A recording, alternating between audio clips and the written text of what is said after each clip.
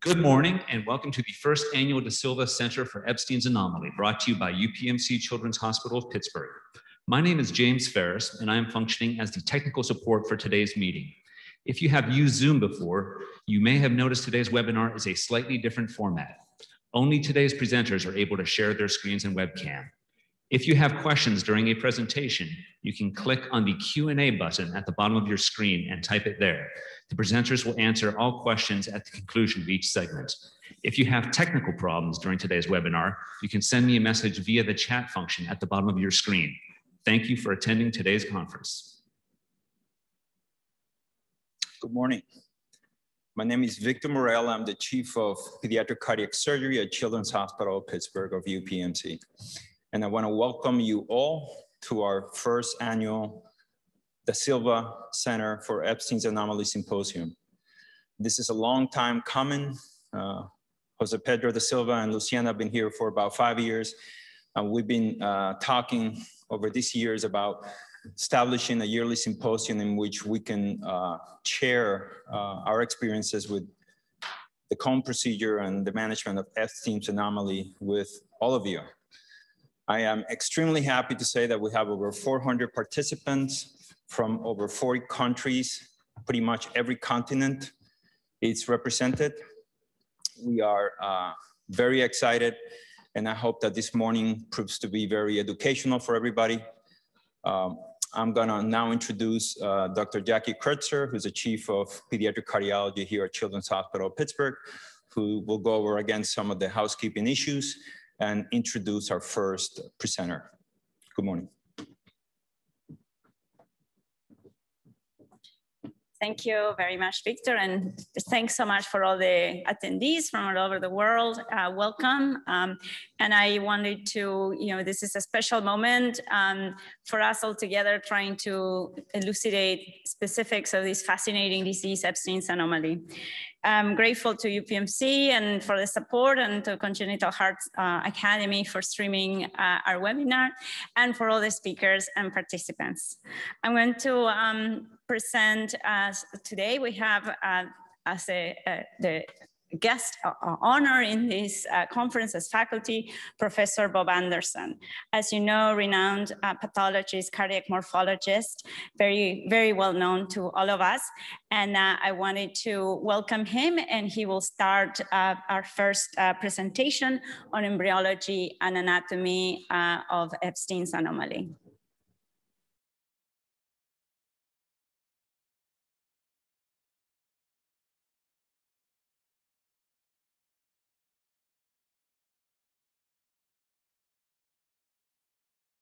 Well, good morning to you, ladies and gentlemen. My name is Bob Anderson. It's a pleasure to be with you this morning. And indeed, it's a pleasure to be joining you again in Pittsburgh. I have strong connections with Pittsburgh. I've been coming through Children's Hospital now since 1979. So what I've been asked to talk to you today is Ebstein's malformation, specifically the development, and the anatomy. But it's appropriate if I start by telling you just a few things about Wilhelm Ebstein. As you can see, he was born in 1836 in Prussia. And at that time, Prussia also owned East Prussia. And he went to university initially in Breslau, which is now in Poland. He continued his studies in Berlin but he returned to Breslau to start his career as a physician. He wasn't there long because he made great strides, and already by 1874, he was sufficiently well recognized to be appointed as the professor of medicine at Göttingen, perhaps the leading medical university in Germany. And he stayed in Göttingen the remainder of his career. But what we are talking about today should perhaps be called Prescher's malformation, because it was Josef Prescher who came into the hospital in Breslau, where Ebstein was working, and attracted his attention to the lesion we now name in honor of Wilhelm. Josef was 19 years old. He was complaining of shortness of breath, palpitations. He'd had them since he'd been a child. He was blue. His heart was big. It was full of murmurs. Sadly, he didn't last long in the hospital and died about a week after his admittance. And this is why we now remember Joseph Prescher.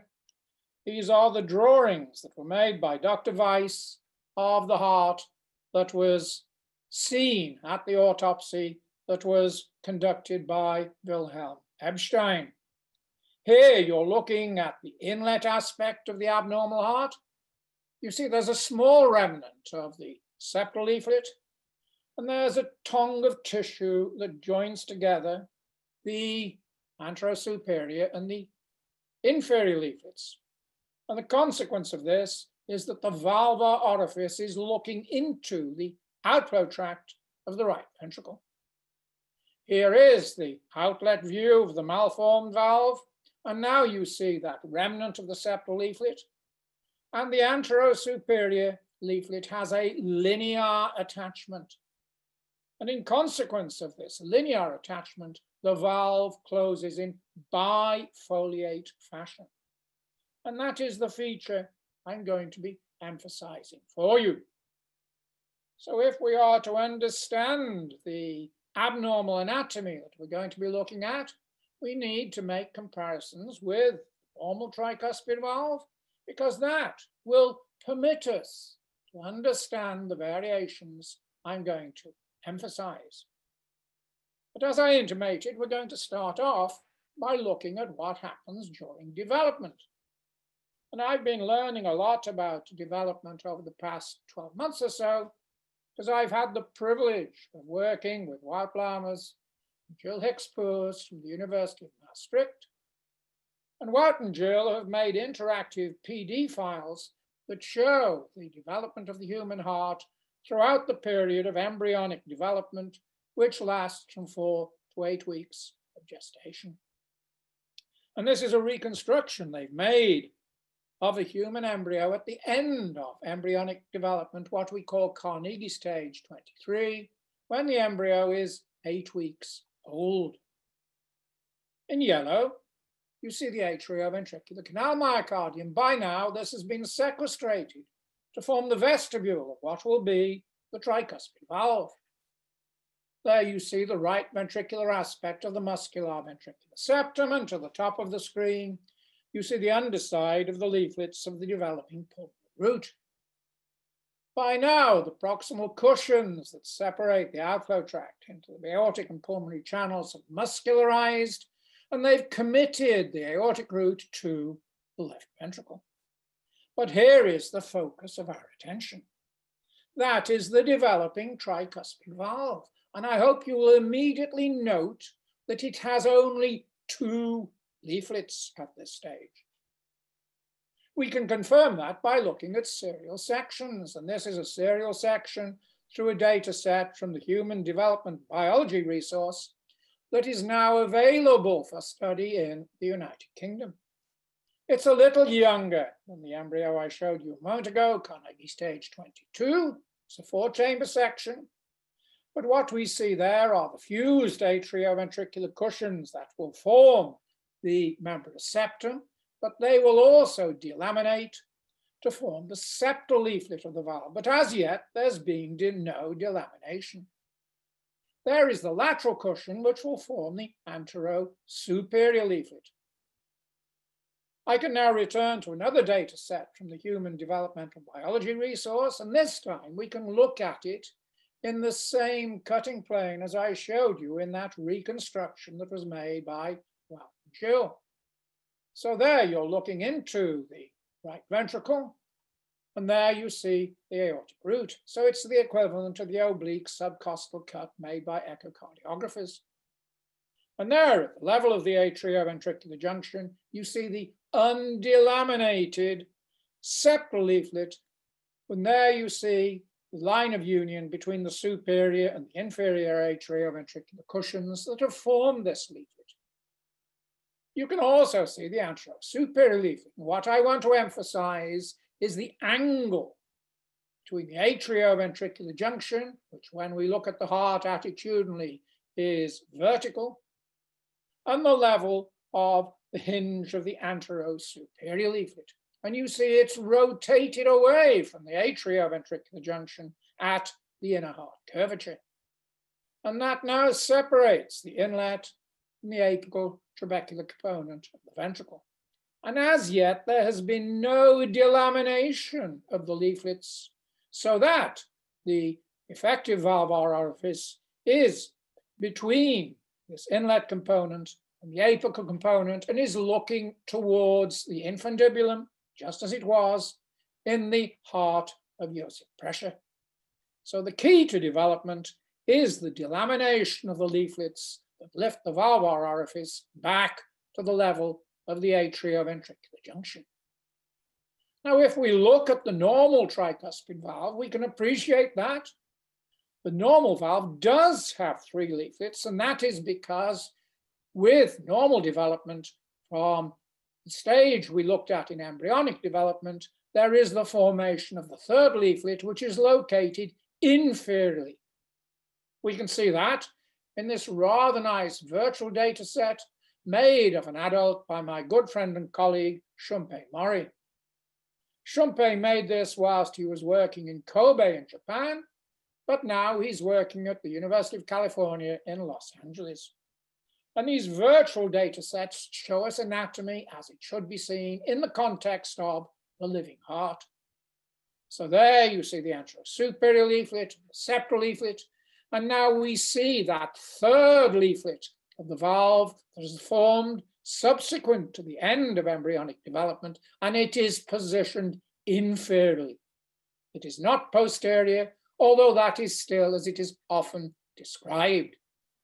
The key point now, with formation of that inferior leaflet, the valve will close in trifoliate fashion. And that, of course, is why we call it the tricuspid valve. So if we look at it in the same aspect as I showed you in the developing heart, this is one of the beautiful images made by Diane Spicer. Diane also started her career in Pittsburgh. And Diane is emphasizing when we photograph the heart in attitudinally appropriate fashion, fashion the atrioventricular junction is vertical. And the union between the inlet and the apical trabecular component is angulated away from the inner curvature. And that permits us to understand what is going on when the valve is malformed. Now, time is not going to permit me to discuss with you any great detail the features of valvar dysplasia. I will briefly mention segmental combinations and associated malformations, but what I want to emphasize is the anatomy itself in the setting of Ebstein's malformation, in the setting of concordant atrioventricular connections. Because the key to the variation is the location of that valvar orifice. And this goes back to some work I did with Christian Schreiber. Christian's sadly no longer with us. He came and he worked with me at the end of the 20th century whilst I was still at the Brompton Hospital. And we looked at 23 examples of Ebstein's malformation. And when we put in the location of that valvar orifice, as I've shown you, it is displaced away from the atrioventricular junction in rotational fashion. I know that echocardiographers talk about downward displacement, but when we put this displacement in the setting of the heart within the body, the rotation, it is a rotational displacement rather than a downward displacement. And it is the variation in that rotation that is the key to understanding. So this, in fact, is one of the hearts from the Pittsburgh archive and I cut my teeth learning about Ebstein's malformation in the archive at Pittsburgh Children's Hospital. So there you see the anterosuperior leaflet. And just as in the heart of Joseph Prescher, there is a tongue joins together the conjoined septal and inferior leaflets with that anterosuperior leaflet. And now you see beautifully in this specimen the rotational displacement of the conjoined septal and inferior leaflets away from the plane of the atrioventricular junction. And it is that rotational displacement that gives us this bifoliate configuration of the malformed valve. And we see that beautifully in this heart also, that is remarkably reminiscent of the drawing that Wilhelm Ebstein made of the heart of Joseph Prescher. So there in this heart, you see how the valvar orifice, the keyhole, is looking into the infundibulum of the right ventricle. And it is closing in bifoliate fashion by consequence of the linear attachment of the anterosuperior leaflet. But the anterosuperior leaflet is not always attached in linear fashion. So in this example, which to me as a morphologist is less severe, we have focal attachment of the anterosuperior leaflet. You can see there the anterosuperior leaflet with a normal attachment between the medial papillary muscle, the anterosuperior papillary muscle. And there you see that the septal leaflet, the inferior leaflet in this particular heart are deficient. There is far less valvar tissue formed, and it would be much harder in this heart for the surgeon to make the cone of valvar tissue that is the essence of the procedure described by Dr. Da Silva. So we see, in fact, the potential to form the cone of valvar tissue much better when we have this linear attachment of the anterosuperior leaflet and the keyhole is looking into the infundibulum of the right ventricle. And now we see the atrialized inlet component with that linear attachment of the anterosuperior leaflet, the connecting tongue, the inferior leaflet. And the task of the surgeon now is to do what the embryo was trying to do, to try to return valvar orifice from the union between the atrialized inlet to the level of the atrioventricular junction. And so it is when there is this linear attachment of the anterosuperior leaflet that the surgeon will be best placed in creating the cone of leaflet tissue that is the essence of Dr. Da Silva's approach to surgical treatment. On occasion, however, we can have an imperforate Ebstein's malformation, and that is because the keyhole is closed. So the key surgical variation is that distal attachment of the anterosuperior leaflet, and it is a spectrum of malformation. The focal attachment, may, when it may well be much harder for the surgeon to create that cone of leaflet tissue, hyphenated attachment to that linear attachment, which is, in my experience, the most usual surgical variation, remembering on occasion the valve can be imperforate. A couple of other key surgical points to bear in mind. We find the atrioventricular node where we expect it to be. It's at the apex of the triangle of Koch, because the triangle of Koch itself will not have been distort, distorted by the presence of Ebstein's malformation. We should also remember the right coronary artery, because of course the right coronary artery is within right atrioventricular junction, which is going to be markedly dilated in the setting of florid Ebstein's malformation. So there's always the danger of kinking that right coronary artery when the surgeon seeks to reduce the size of that right orifice.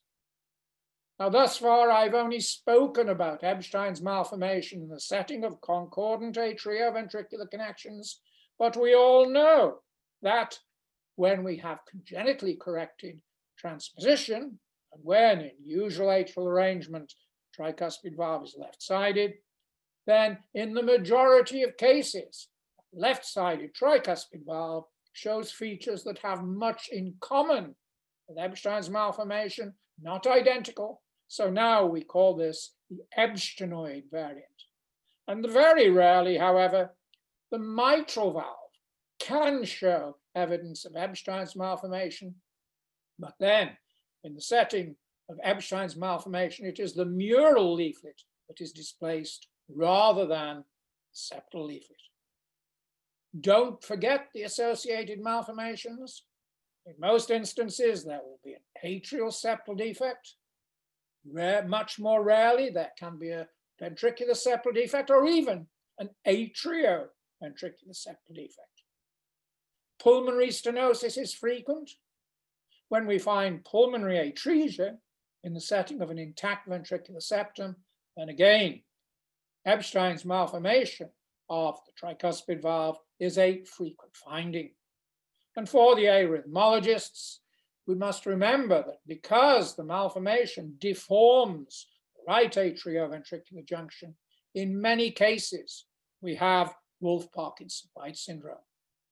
So if I summarize, the major point to bear in mind is that there is displacement of the septal and inferior leaflets, and that reflects the failure of delamination during development. But that displacement is rotational, although when seen in echocardiographic images, it seems to be downward. The consequence of the displacement, the valvar orifice is a keyhole in florid cases, and it's looking into the infundibulum. It is at the junction between the atrialized inlet component and the functional right ventricle. What I hope I have emphasized is that as far as the surgeon is concerned, major variation involves that distal attachment of the anterosuperior leaflet.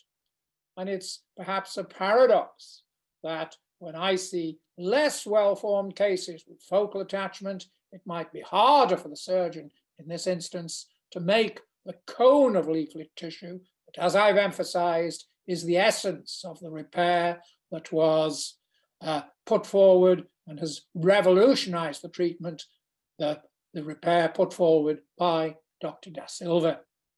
Remember, Ebsteinoid malformation is frequent in the setting of congenital corrected transposition, and don't forget those associated malformations, but the major take-home point, the lack of delamination of those septal and inferior leaflets has given rotational ro displacement of that valvar orifice that typically is a keyhole looking into the infundibulum of the right ventricle, just as it was in that heart of Joseph Prescher seen by Dr. Ebstein so long ago. Thank you so much for permitting me to share my experience with you, and I'm looking forward for the, to the remainder of this exciting seminar.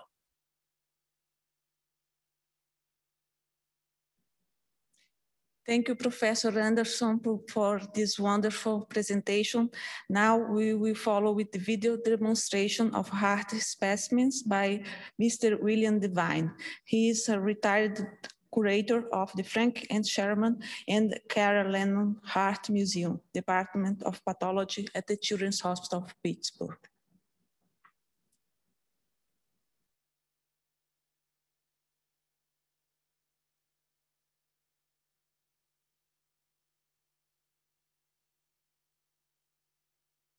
Hello, I'm Bill Devine, and I'd like to demonstrate to you hearts that have Ebstein's anomalies. I am a faculty member of UPMC Children's Hospital Pittsburgh and also a faculty member of the University of Pittsburgh School of Medicine. I'd like to start by first looking at the normal heart. Since we're talking about Ebstein's anomaly of the tricuspid valve, we're going to look closely at the anatomy of the right side of the heart. So we're going to open up the right heart and first look at the right atrium. This is a right atrium because we have these pectinate muscles coming off the terminal crest all the way around towards the coronary sinus, the vestibule. That tells you this is a morphologic right atrium. Here's the oval fossa, coronary sinus, and the tendon of Todaro is here coming down towards the central fibrous body Here's the annulus of the tricuspid valve. This forms a triangle of Koch. Right here is also the area of the membranous septum. If we look on edge here, a little closer, we can see the atrial muscle here, ventricular muscle here, and we have fibrous adipose tissue with the right coronary artery here. And this fibrous adipose tissue actually extends, and you can see it in this heart, all around the junction. Now, the annulus of the tricuspid valve is not a fibrous cord, but is fibrous adipose tissue, and this is hinged along this region. And this hinge point and annulus are one and the same in the normal heart. If we look at this right ventricle, we can divide a ventricle into an inlet portion, apical portion, and outlet portion.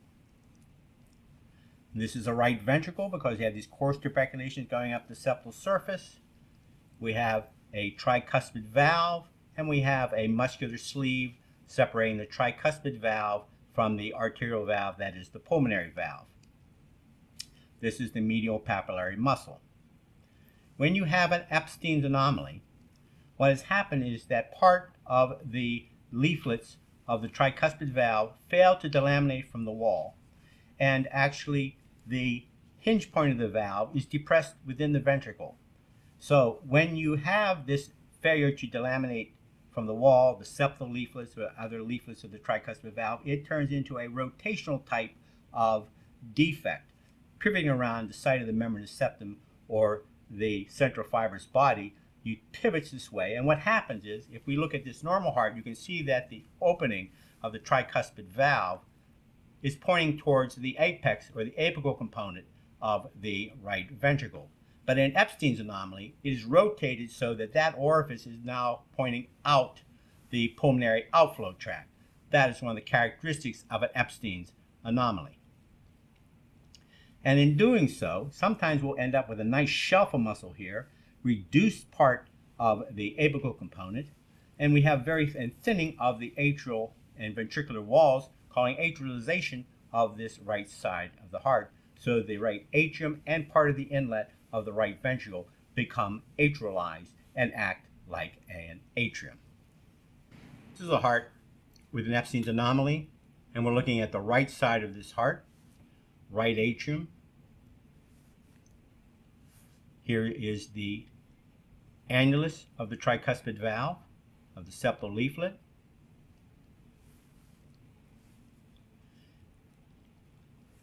Here's the anterior superior leaflet, and here is part of the posterior leaflet. And we can see right here, if you go in closer, that this part of the septal leaflet, the septal leaflet here, has not completely delaminated from the wall of the right ventricle, thus putting the orifice of the tricuspid valve within the ventricle, and you can see that it's rotating around the central fibrous body around the area of the membranous septum in this fashion, and that the orifice of the tricuspid valve is now starting to face out the outlet of the right ventricle.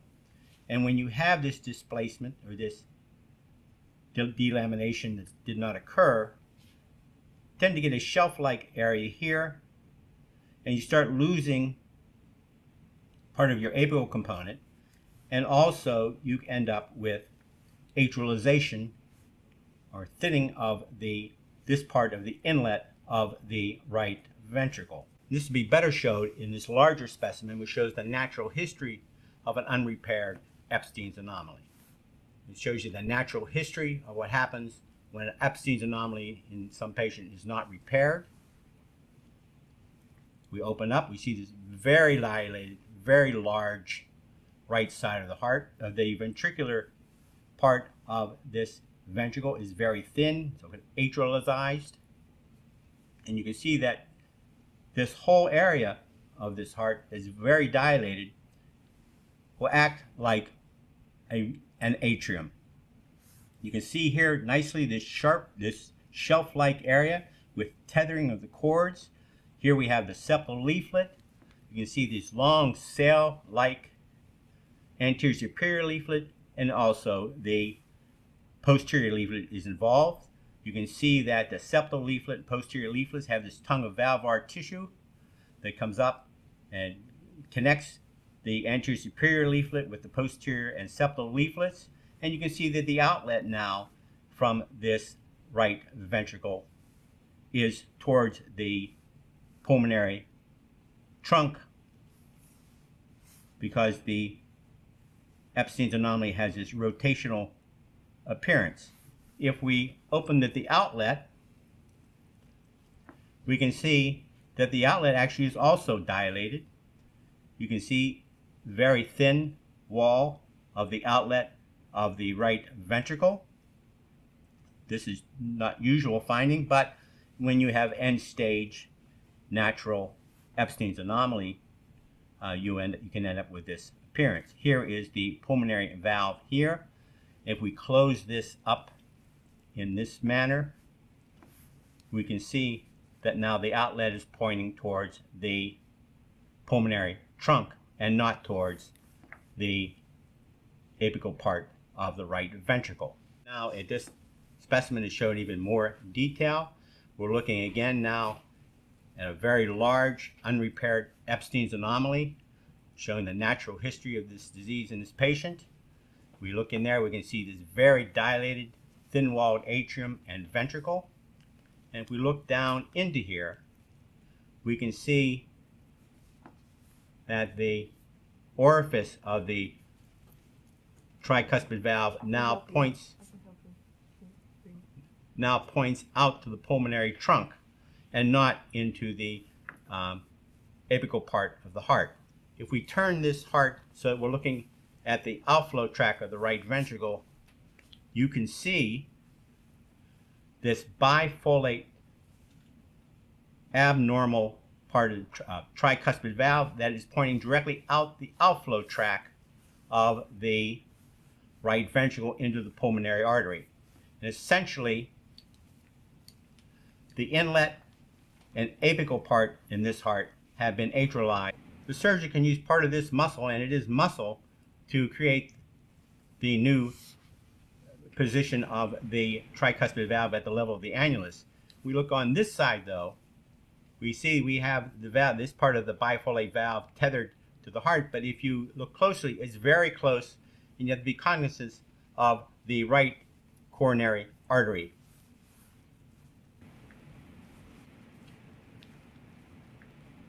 This smaller heart shows a very severe Ebstein's anomaly. You can see that the septal leaflet is not delaminated.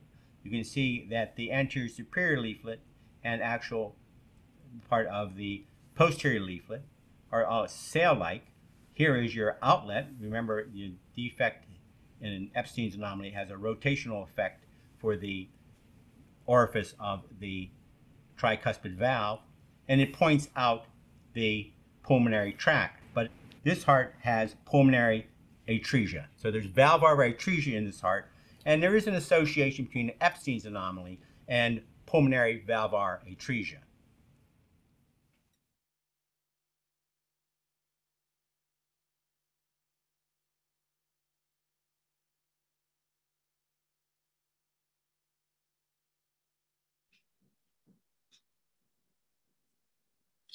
Many thanks, Bill and Professor Anderson. Now uh, we're going to proceed with our, our program.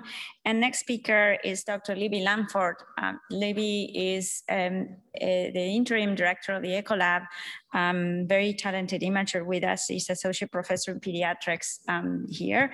And she'll be talking about echocardiography, what we need to know.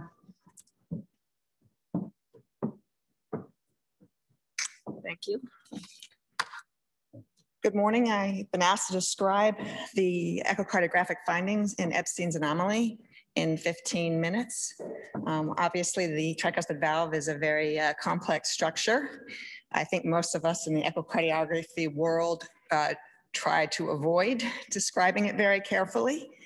Um, in the last several years, working with the Da Silvas, I've learned a lot, and most of the have learned that there's more to learn so in this 15 minutes, I thought I would take you through uh, two cases with Ebstein's anomaly that I thought were fairly informative for us. No disclosures. This first infant is an infant who had a prenatal diagnosis of Ebstein's anomaly with significant tricuspid insufficiency. Their small local medical center said that they had no treatment to offer the infant post-birth. The family sought out the Da Silvas and relocated to Pittsburgh and the infant was delivered here. This is her newborn echo. As mentioned by Professor Anderson, the classic echo criteria is the inferior displacement of the septal leaflet. So looking at an apical four chamber view, you see left atrium, left ventricle, dilated right atrium, right ventricle. And here is the septal leaflet, which certainly is displaced inferiorly. Um, I never really noticed before, but as we look, this leaflet here, which is probably a combination of the inferior and anterior leaflet, um, is fairly mobile and there appears to be a reasonable RV anterior wall. When we add color, we see that this newborn had severe tricuspid valve insufficiency. The view that I like the most in infants and young children is the subcostal views because you can actually get en face views and fairly easily identify the three leaflets. I will say as the valve gets abnormal, it becomes harder and harder to distinguish exactly which leaflet is which. So this is a subcostal four chamber view um, to orient. It's gonna be head, head, feet, rightward and leftward. And we've actually tipped somewhat into the RV outflow tract because as has been mentioned, the coaptation point of the tricuspid valve is in the, is tipped, rotated towards the RVOT. So this is a view that is very useful for that. And we can see the dilated right atrium. This portion here is the atrialized right ventricle. The coaptation point of your tricuspid valve here is rotated into the proximal right ventricular outflow tract. She actually has a fairly good RV apex that is part of the functional RV, a well-developed RV outflow tract. And you get a hint here that we see fairly often of sort of a dilated right ventricular outflow tract right below the pulmonary valve. And again, note that this tricuspid insufficiency is directed inferiorly. The peak TR gradient was 12 millimeters of mercury, so quite low for a newborn we uh, struggled with whether this patient had a patent pulmonary valve because her RV was only able to generate 12 millimeters of mercury, which would not be enough to open a pulmonary valve in a neonate. Um, the question is, is it an abnormality of the RV myocardium or is it that there's so much TR that the RV just cannot generate pressure? Surprisingly, there's a remarkably normal tricuspid flow Doppler inflow pattern across the tricuspid valve with ENAs. So at least we know we found the functioning tricuspid valve. So again, my favorite, the subcostal views. In infants and young children, you can get en face view of the tricuspid valve. It's a subcostal short axis view rotated into the plane of the tricuspid valve. So for orientation, it's again, head, feet, anterior, posterior, LV, mitral valve, septum. So here is your septal leaflet. And you can see this very redundant anterior leaflet, which really does not appear to have a lot of attachments to the right ventricular outflow tract. But then there's sort of a large chunk missing, right? There's no obvious inferior leaflet and there is a very large gap here. Again, as you notice, this RV outflow tract is well contractile, somewhat dilated, and here there appear to be pulmonary valve leaflets. If we look at the color flow, this broad red jet in the MPA is ductal flow, supplying flow to the lungs, but we never see any forward or retrograde flow across the pulmonary valve. And again, we weren't sure whether this was functional or true pulmonary atresia. This infant went on to have a Starnes procedure done at nine days of age. This consists of a fenestrated closure of the tricuspid valve, which is this patch sitting in the atrium. Um, it still bothers me because as an echocardiography, tricuspid valve should be over here, but here's your mitral valve. This patch sits higher than the mitral valve. There was a right atrial reduction atrioplasty and large atrial septectomy a BT shunt. And again, intraoperatively, it was confirmed that the pulmonary valve was atretic. You see that the RV now is much smaller. You actually see, again, as I pointed out, that this child has fairly well-developed anterolateral RV wall. And the tricuspid valve leaflets are now all compressed in this small cavity, so you can no longer really assess the anatomy and function of these leaflets. So when we evaluate patients who've had a Starnes for further surgical interventions, I really like to look at the newborn echocardiogram to assess the tricuspid valve leaflet attachments, morphology, motion. There's a fenestration in that patch. So there is two-fro flow across that right atrial patch. Again, surprisingly to me, there's a normal inflow pattern for an infant, an ENA wave, and there is tricuspid insufficiency. This infant had a peak TR gradient of 23 millimeters of mercury. We think that it is uh, reassuring if the RV is able to generate a pressure for perhaps being able to recruit this right ventricle for future use rather than going down a single ventricle palliation. At three months of age, this infant had a Glenn and a surgical pulmonary valvotomy, and then at 17 months of age, had a Da Silva cone procedure associated with a pulmonary valve repair, ASD fenestration closure, limited right atrial maze. The Glenn was left in place. As we now look at her postoperative images, you can see the two leaflets of the cone. Can see, as again, she has a fairly good RV anterior wall. And now she has a fairly large functional RV. When we look at the function of that tricuspid valve, I'm so amazed by these. We see some color flow disturbance, mosaic color, suggesting that she does have an element of tricuspid valve stenosis, but this little tiny jet is all of the tricuspid valve insufficiency that she has. So her mean tricuspid valve gradient is mild at 4.4 millimeters of mercury. She has trivial tricuspid insufficiency with a TR gradient that runs around 29 millimeters of mercury. She still is one and a half physiology, so we left her Glenn. She was hospitalized for this cone procedure for approximately one week and had really no major postoperative complications. She is now about three years of age and clinically doing well. Her systemic saturation is 96% with a small bidirectional atrial level shunt on echo. Uh, her tricuspid valve function has stayed stable. We re-echoed her a couple of weeks ago. Um, she does have moderate RV dysfunction by echocardiogram, but you wouldn't know it based on her clinical course. Moving to another example is this is an 18 year old with Ebstein's anomaly who had a BT shunt as a neonate. He has a patent pulmonary valve who just happened to move to the Pittsburgh area, independent of the Da Silvas. At his first clinic visit in cardiology, his baseline stat was 81%, that dropped to 63% with walking down the hallway. So we, um, he had very poor transthoracic images, so we had a TE to assess what interventions we could offer.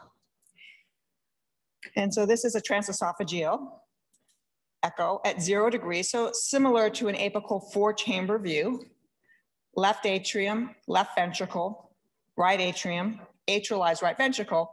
And again, the classic echo criteria is inferior displacement of the septal leaflet, but in this view, there is no septal leaflet.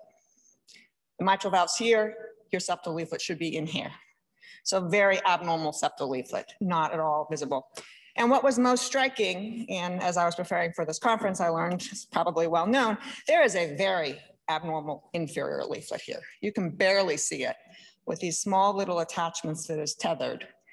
In addition, unlike the prior patient, I don't really get a sense of any true RV myocardium on the other side of that leaflet. We pulled the probe out a little bit to get into the left ventricular outflow tract, and all of a sudden we see that septal leaflet. It's been rotated into the outflow tract. And here is an anterior leaflet that appears to be moving fairly well.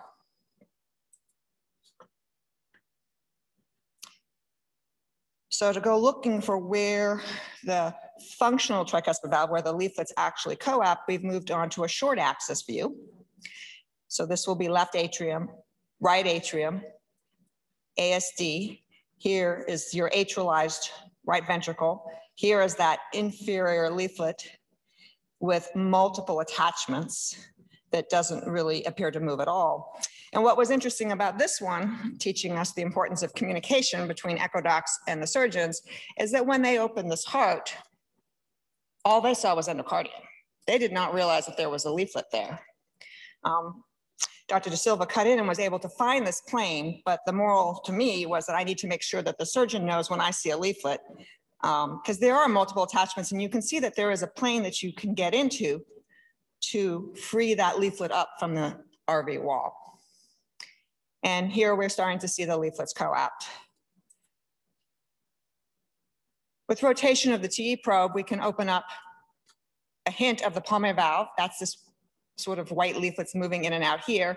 Here is our coaptation point of the tricuspid valve. So this small RV outflow tract is the only functional part of the RV. This functional RV has a bulge, but the systolic function looks fairly good. Intraoperatively, they found that this area of the RV outflow tract had multiple areas of fatty tissue with absence of the myocardium. So unfortunately, this child has a fairly abnormal RV.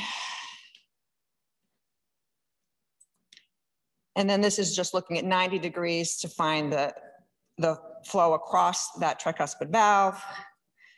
Again, I think that this is probably septal and a little bit of the anterior leaflet. And then when we look with color, we see moderate tricuspid insufficiency, again, directed inferiorly. I apologize for this image quality, but I wanted to show the um, abnormal attachments that you can see in that anterior leaflet. So this is a transgastric view by TE. So head, feet, left atrium, mitral valve, aortic valve, ventricular septum. And so this is focused on the right ventricular outflow tract. And so you see this very abnormal septal leaflet here it's almost like a loop of tissue attached to the septum, which is now at the level of the aortic valve. And here is that anterior leaflet, which is mobile, but clearly has an attachment in the right ventricular outflow tract. The pulmonary valve would be up here. So again, this is our coaptation point that has moved all the way into the RV outflow tract, and the true functional RV is only this small area.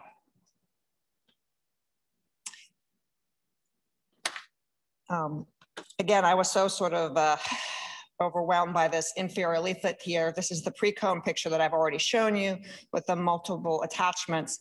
This is actually post-cone, and you can see that the Da Silvas were able to free up this inferior leaflet and to use it to form the cone. And if you look, I think there's actually little nubbins of tissue that I think are the remnants of all of those attachments to that leaflet. So for his surgical intervention, he underwent a Da Silva cone repair, RV plication, valve closure of his atrial septal defect, RF ablation of his tricuspid valve annulus and cavo-tricuspid isthmus, and takedown of his, in, of his BT shunt. And I was totally amazed by this result. So now we have what looks like the tricuspid valve with two leaflets, the cone. We can see low velocity flow. We don't see any turbulence in this um, inflow. We see that there are fenestrations in the cone to allow flow into the right ventricle. You can actually see this fenestration by 2D. And I think there's another fenestration which causes this red jet to swirl. There is no tricuspid valve insufficiency seen in that image. I went through the whole study and the only insufficiency we found was this tiny fenestration here. And if you look very closely, there's a little blue jet and a little red jet. That little dot here of red flow was all the tricuspid valve insufficiency that was seen in the operating room. So I do a lot of echoes in the OR, and one of the most frustrating things for us is assessing valve insufficiency immediately post-op because two to three days later, it's frequently very different. So I wanted to, oops, bring to you the pictures of what he looked like five months afterwards. This is the last echo we have on him. Again, his tricuspid valve leaflets move well. Here is his color flow. Now we do see a little bit of turbulence. In the OR, his mean gradient across the tricuspid valve was two. It's come up a little bit. But again, the only insufficiency that you are seeing is this tiny little blue jet.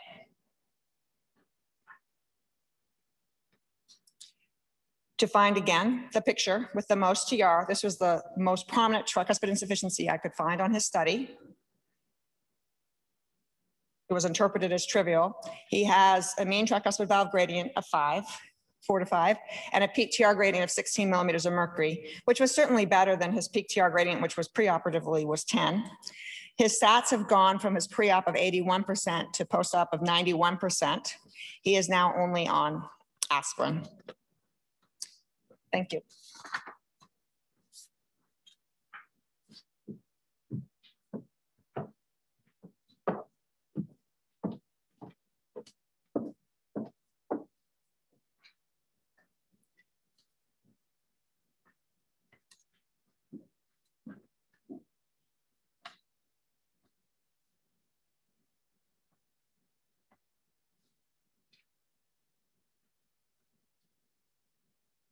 Thank you, Dr. Lamport, for, for this uh, beautiful presentation. Now we will have um, uh, interesting diagnostic images by presented by Dr. Adam Christopher. He is an assistant professor of pediatrics at the University of Pittsburgh, director of cardiac MRI and CT program here at the Children's Hospital of Pittsburgh.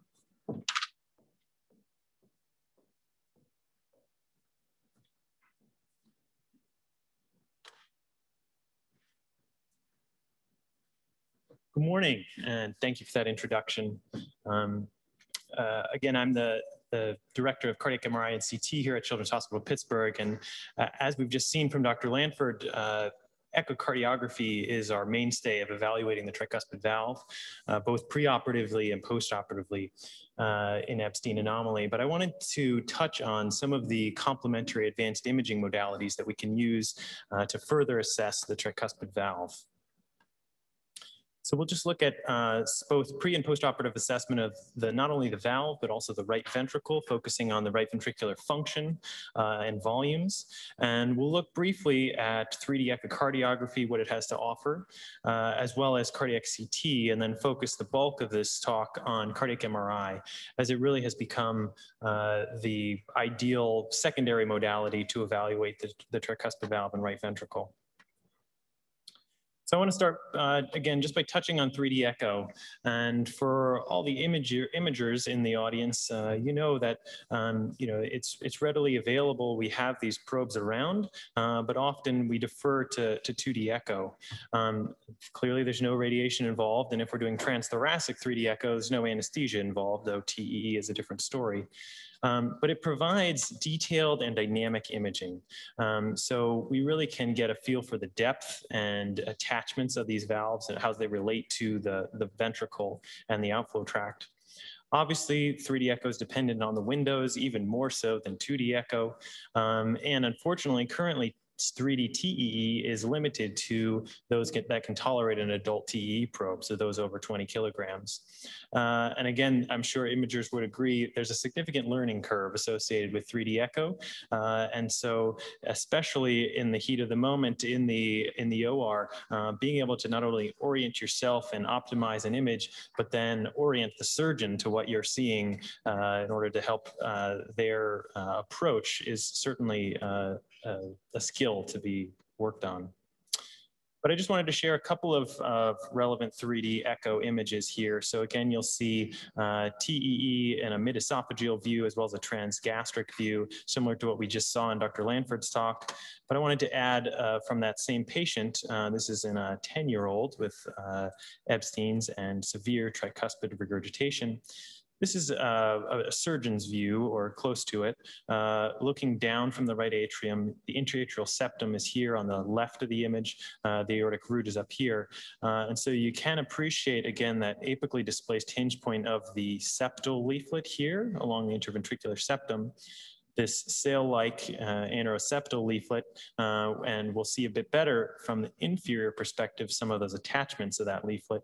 And then again, that somewhat deficient inferior leaflet or posterior leaflet down here. Turning that around and looking up from above, this is again a, a transgastric uh, acquisition uh, in the upper right here. Um, I just want to focus your attention. So looking up from below, we have the left ventricle here on the right and up from the right ventricular apex. Again, you can appreciate some of these uh, attachments of the anterior septal leaflet to the free wall and the relationship of the valve to the right ventricular outflow tract and the pulmonary valve.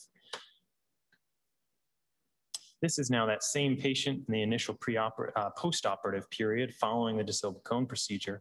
Uh, you can see by, by standard mid-esophageal views, there's just trivial tricuspid regurgitation. Uh, and by, again, a transgastric view, uh, looking up on fossa at the cone, you could appreciate some of the accessory tissue left on that anterior aspect of the valve, um, but otherwise excellent coaptation there. So then if we focus on these 3D echo images, uh, again, from looking up from below, uh, you can see uh, some of that accessory tissue uh, surrounding the cone. Um, and again, uh, relationship between the right ventricular outflow tract and that new valve.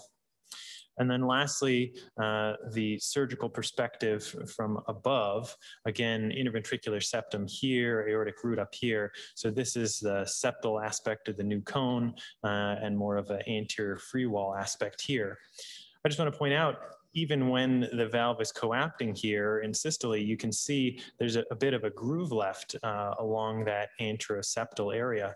I think that's one of the beauties of the cone is that there doesn't have to be a single plane of coaptation uh, right up at the AV groove, uh, but in fact that cone, you know, can come together even just below the annulus uh, here, and so we're still left with minimal, uh, just trivial tricuspid regurgitation.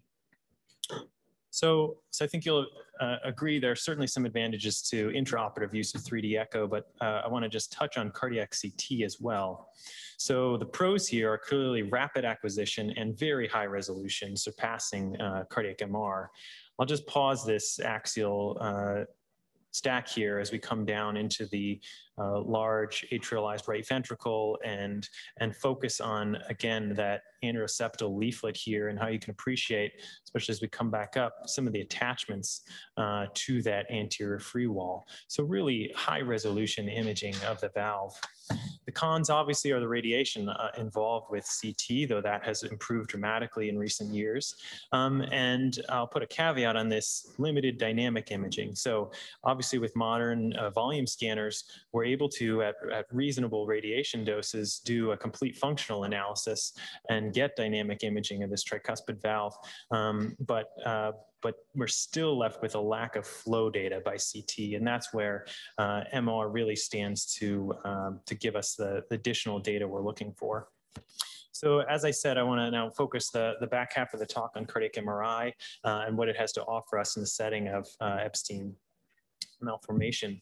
So the pros, and one of the reasons we refer almost every patient for preoperative cardiac MRI is the quantitative ventriculography you get from it to assess not only the ventricular volume, but also the function of the functional right ventricle, um, as well as the dynamic and flow data that we'll review. Obviously, MRI is radiation free. But the real cons are the acquisition time, uh, as well as the compliance. So in all of our younger and early school age patients, MRI uh, will often require sedation and even intubation at times to get them through the scan and, and at, get adequate breath holds. So uh, again, for the imagers in the audience, I'm sure you're familiar with this uh, JCMR position statement. It's a really nice reference for cardiac MR protocols for a variety of congenital heart diseases, but notably as well for Ebstein anomaly. I refer back to this frequently uh, for standard protocols here. So I just want to touch on what we benefit, uh, what we get out of ventriculography, tricuspid valve cine imaging, phase contrast imaging, as well as uh, 3D imaging. We almost always perform either a contrast enhanced MRA or a 3D SSFP to be able to reformat this data. So uh, just looking first at quantitative ventriculography, you know, we standardly for any cardiac MRI will acquire uh, a four chamber view.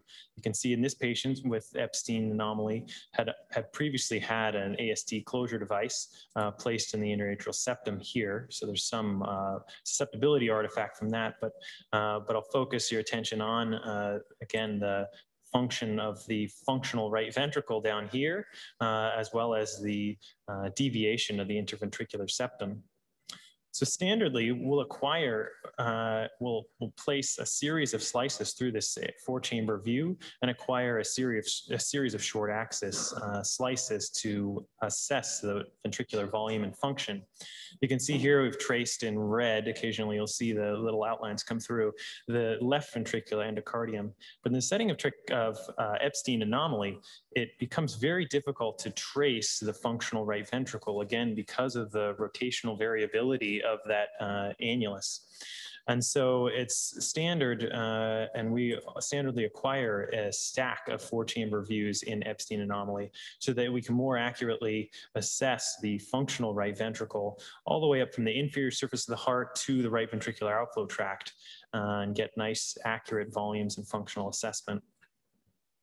I want to talk a bit more, a bit more about uh, focusing in on the tricuspid valve anatomy. Um, and so we do that again from that four chamber view. If we uh, place again a slice along the interventricular septum there to create this view, a three chamber view, much like the subcostal views Dr. Lanford was showing, as well as the anatomic specimens we saw from Dr. Anderson earlier this morning, um, you can appreciate again a, a right ventricular three chamber view with the right atrium a portion of the atrialized right ventricle, and then you can appreciate the rotational abnormality of the plane of that tricuspid valve uh, and its relation to the pulmonary valve up here. So then we can again place a plane perfectly par parallel with the plane of the tricuspid valve and then be able to assess it en face and see again uh, the degree of coaptation or lack thereof and again assess many of the attachments between that anteroseptal leaflet and the free wall. I want to briefly touch on phase contrast imaging or flow data that we can acquire by cardiac MR. So we'll frequently acquire en face flow image of the tricuspid valve. And so you can see in red uh, is the inflow in diastole here, and then, uh, I'm sorry, in blue is the inflow, and then in red is the tricuspid valve regurgitation. So this gives us an estimate, a rough estimate of the regurgitation fraction of the tricuspid valve. You can see in this setting, we got 45% regurgitation through this valve, consistent with severe tricuspid regurgitation. However, the challenge there is that the, the plane of that annulus is moving in and out of our single uh, flow plane. And so it's often limited and we'll end up using a comparison of the PA flow uh, to the stroke volume of the functional right ventricle in order to, to calculate a more accurate tricuspid regurgitation fraction. I just want to make the point as well that uh, 4D flow, which has come down the pike in the last few years, um, stands to dramatically improve our face assessment of tricuspid regurgitation. So 4D flow is again phase contrast data in a three-dimensional space but with the added uh, dimension of time throughout the cardiac cycle. Uh, and so you can see in this patient with Ebstein anomaly, we're able to then track the annulus as a functional valve, that orifice, and get a more accurate uh, tricuspid regurgitation fraction of, of 33% here. So then I just want to touch uh, and give a few case examples of how cardiac MRI added to the echocardiographic picture. So this is a two-year-old patient uh, who, uh, separate, separate patient than the one Dr. Lanford showed earlier by echo, um, who presented as a neonate with severe Ebstein anomaly and pulmonary atresia. She underwent the Starnes procedure as we had seen before, uh, and you can see two-fro flow through that fenestrated patch uh, on cardiac MR. Uh, you can also see this very dynamic interventricular septum here. Um, but she, as I said, uh, you know, initially underwent the Starnes procedure with placement of a BTT shunt, uh, as well as subsequent bidirectional Glenn procedure. She then presented at two years of age with progressive desaturation, and so was referred for cardiac MR. Um, not only were we able to assess the flows through that fenestration, but also take a look at her branch pulmonary arteries and using the flow data that we were just talking about. So you can see here uh, the tricuspid uh, or this patch uh, en face. So you can see the, the two fro flow in red and blue here. You can see a hypoplastic RPA here under the aortic arch.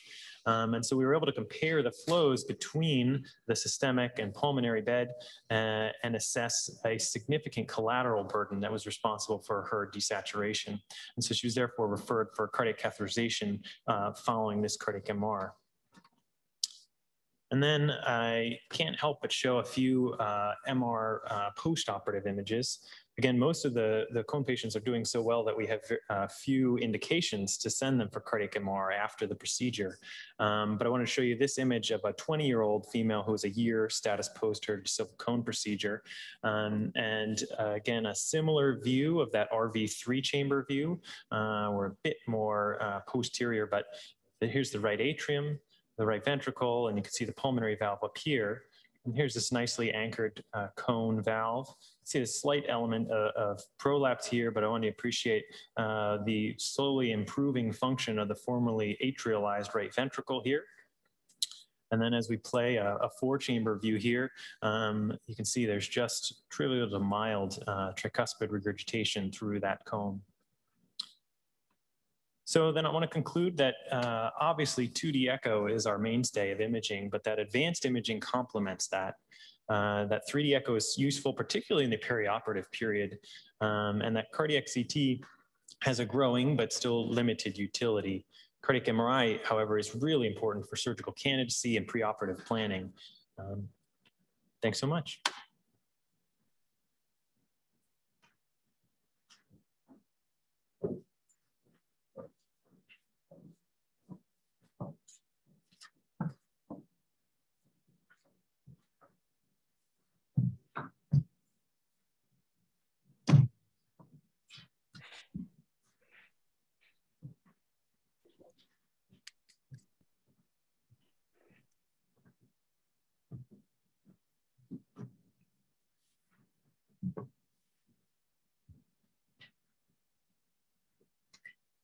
All right. Good morning, everyone. My name is Melita Viegas. I'm one of the cardiac surgeons here, and we've had an excellent first session on embryology and diagnosis of the cone procedure of Ebstein's anomaly and cone. So we're going to open it up to discussion questions, and we have quite a few questions. So first one, um, and this might be for Dr. Anderson. So based on research I have done, there's no real cause of the malformation. Is that accurate? Are there any studies being done to determine what causes the defect? None of which I am aware. I think the research is correct. Uh, we know we now have a feel as to why it takes place. I think the presentations we saw today showed beautifully that uh, as I pointed out in my in the developmental part to begin my talk, it's a failure of delamination of the leaflets. So we know that that's what's taking place. We don't know as yet why that should happen. I mean, there is minimal data to suggest that lithium exposure was able to cause uh, Ebstein's malformation, but I'm unaware of anything beyond that that would give us any clues. Okay, the next question is, is the atrialization of the RV due to the lower pressure felt by that portion of the RV with resultant thinning, or is that region truly atrial histologically? That is, is this due to the hemodynamic or embryological origins? Well, the, the inlet portion is for sure ventricular. It's ventricular myocardium, so it certainly isn't uh, atrial myocardium. I'm not sure I'm the person to answer the other half of the question. All I can say is that it is ventricular myocardium. So it is atrialized in terms of the physiology rather than the anatomy. Okay. Um, this question is for Dr. Lanford. So the tricuspid regurgitation gradient in an Ebstein's anomaly and pulmonary atresia is high in what situations? Can't actually remember ever seeing that, but I would assume it's when your Ebstein's is competent, right? If your RV can generate a high pressure.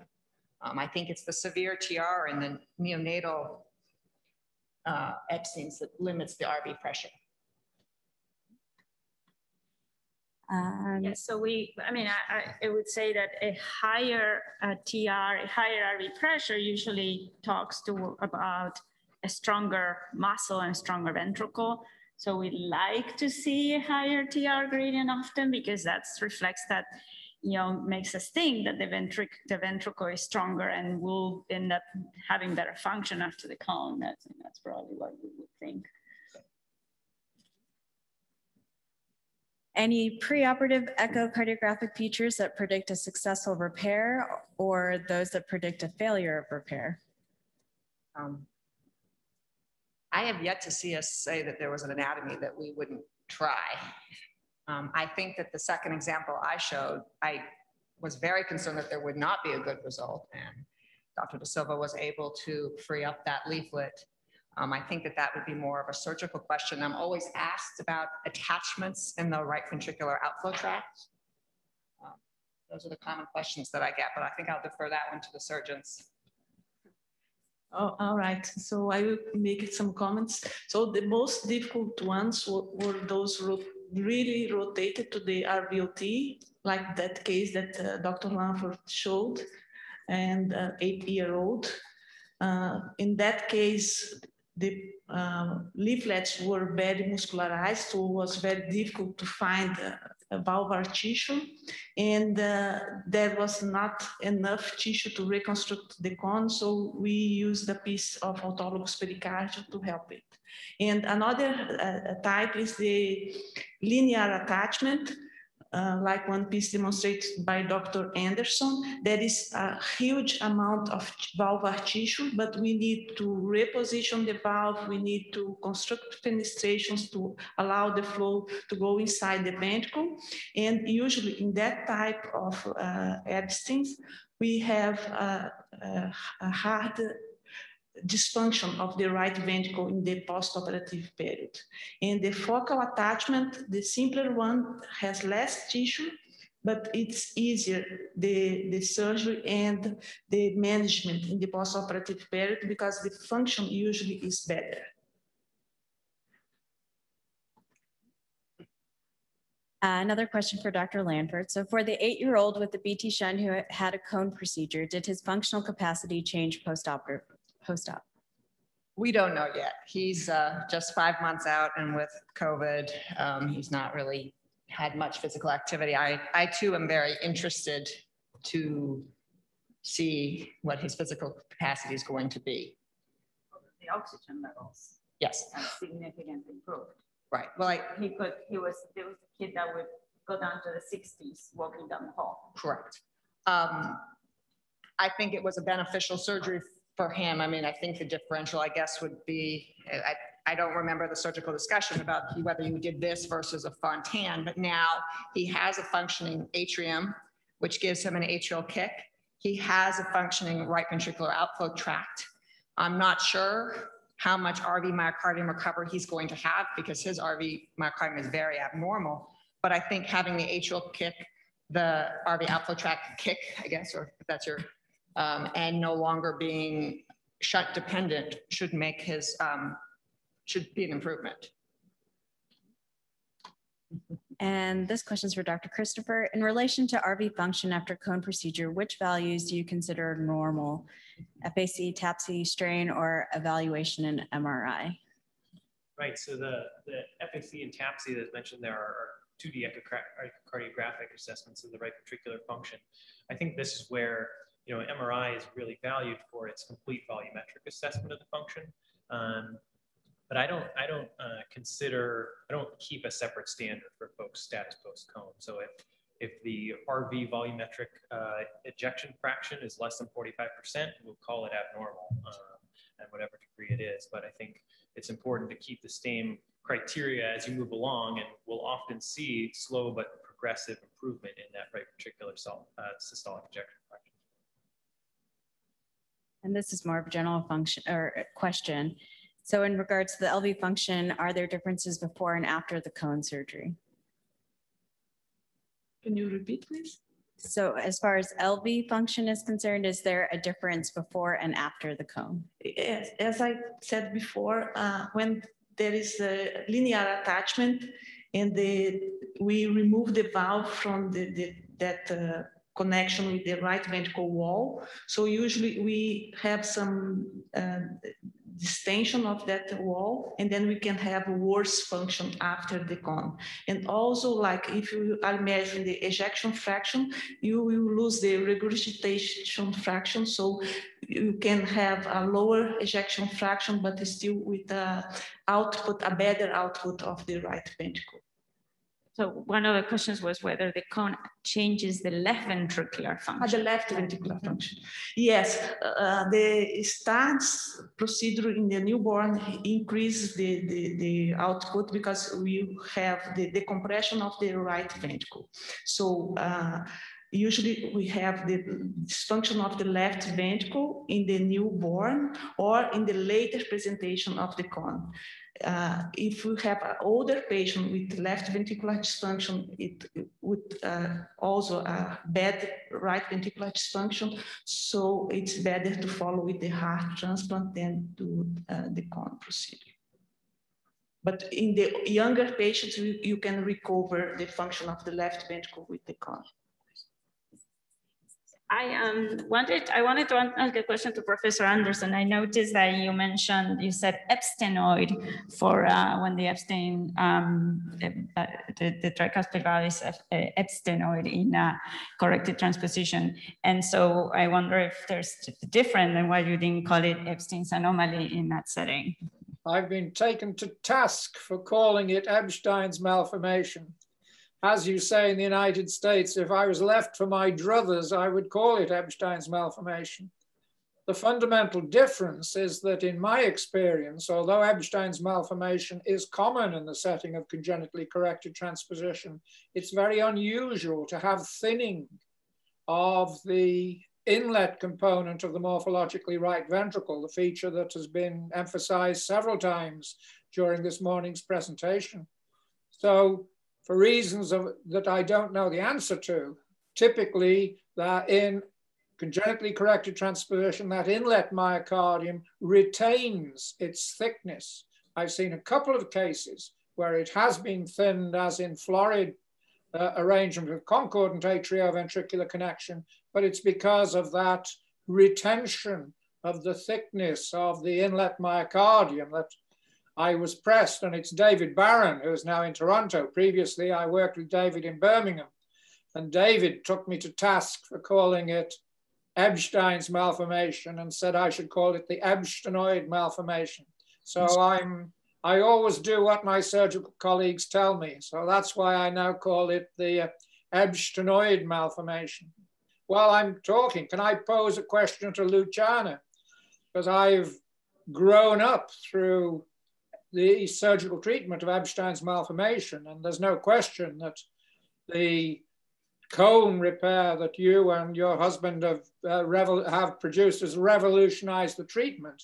In the old days, when it was the Hardy repair, I was uh, very good friends with Gordon Danielson, who was the major proponent of that. And at the Mayo Clinic then, there were still patients where they would opt for replacement of the tricuspid valve rather than opting for a hardy repair.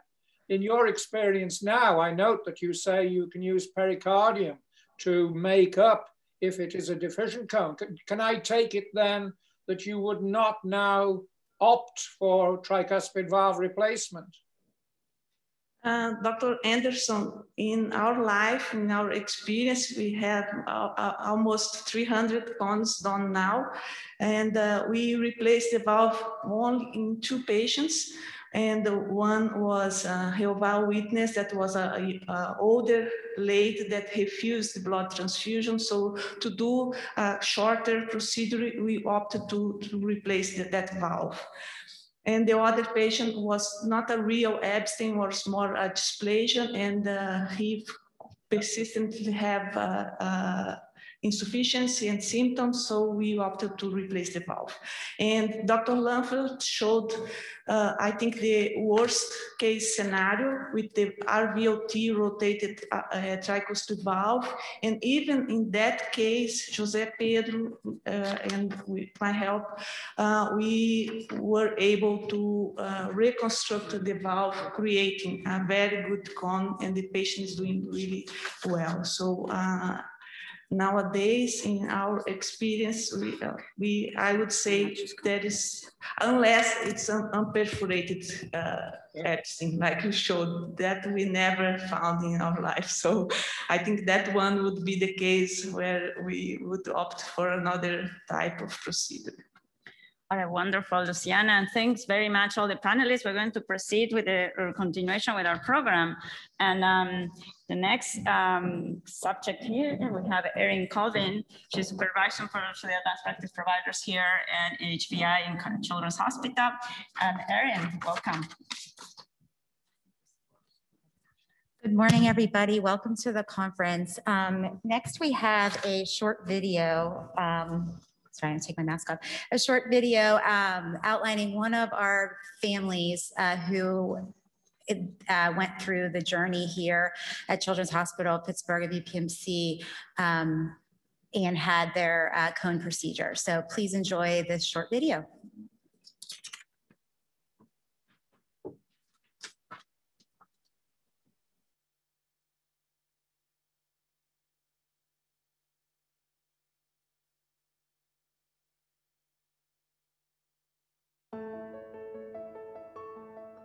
Six years ago, I had our firstborn Avery. We found out that she had Ebstein's anomaly after I delivered. We had some complications and they took Avery right away to the NICU. After those six weeks, we were able to come home.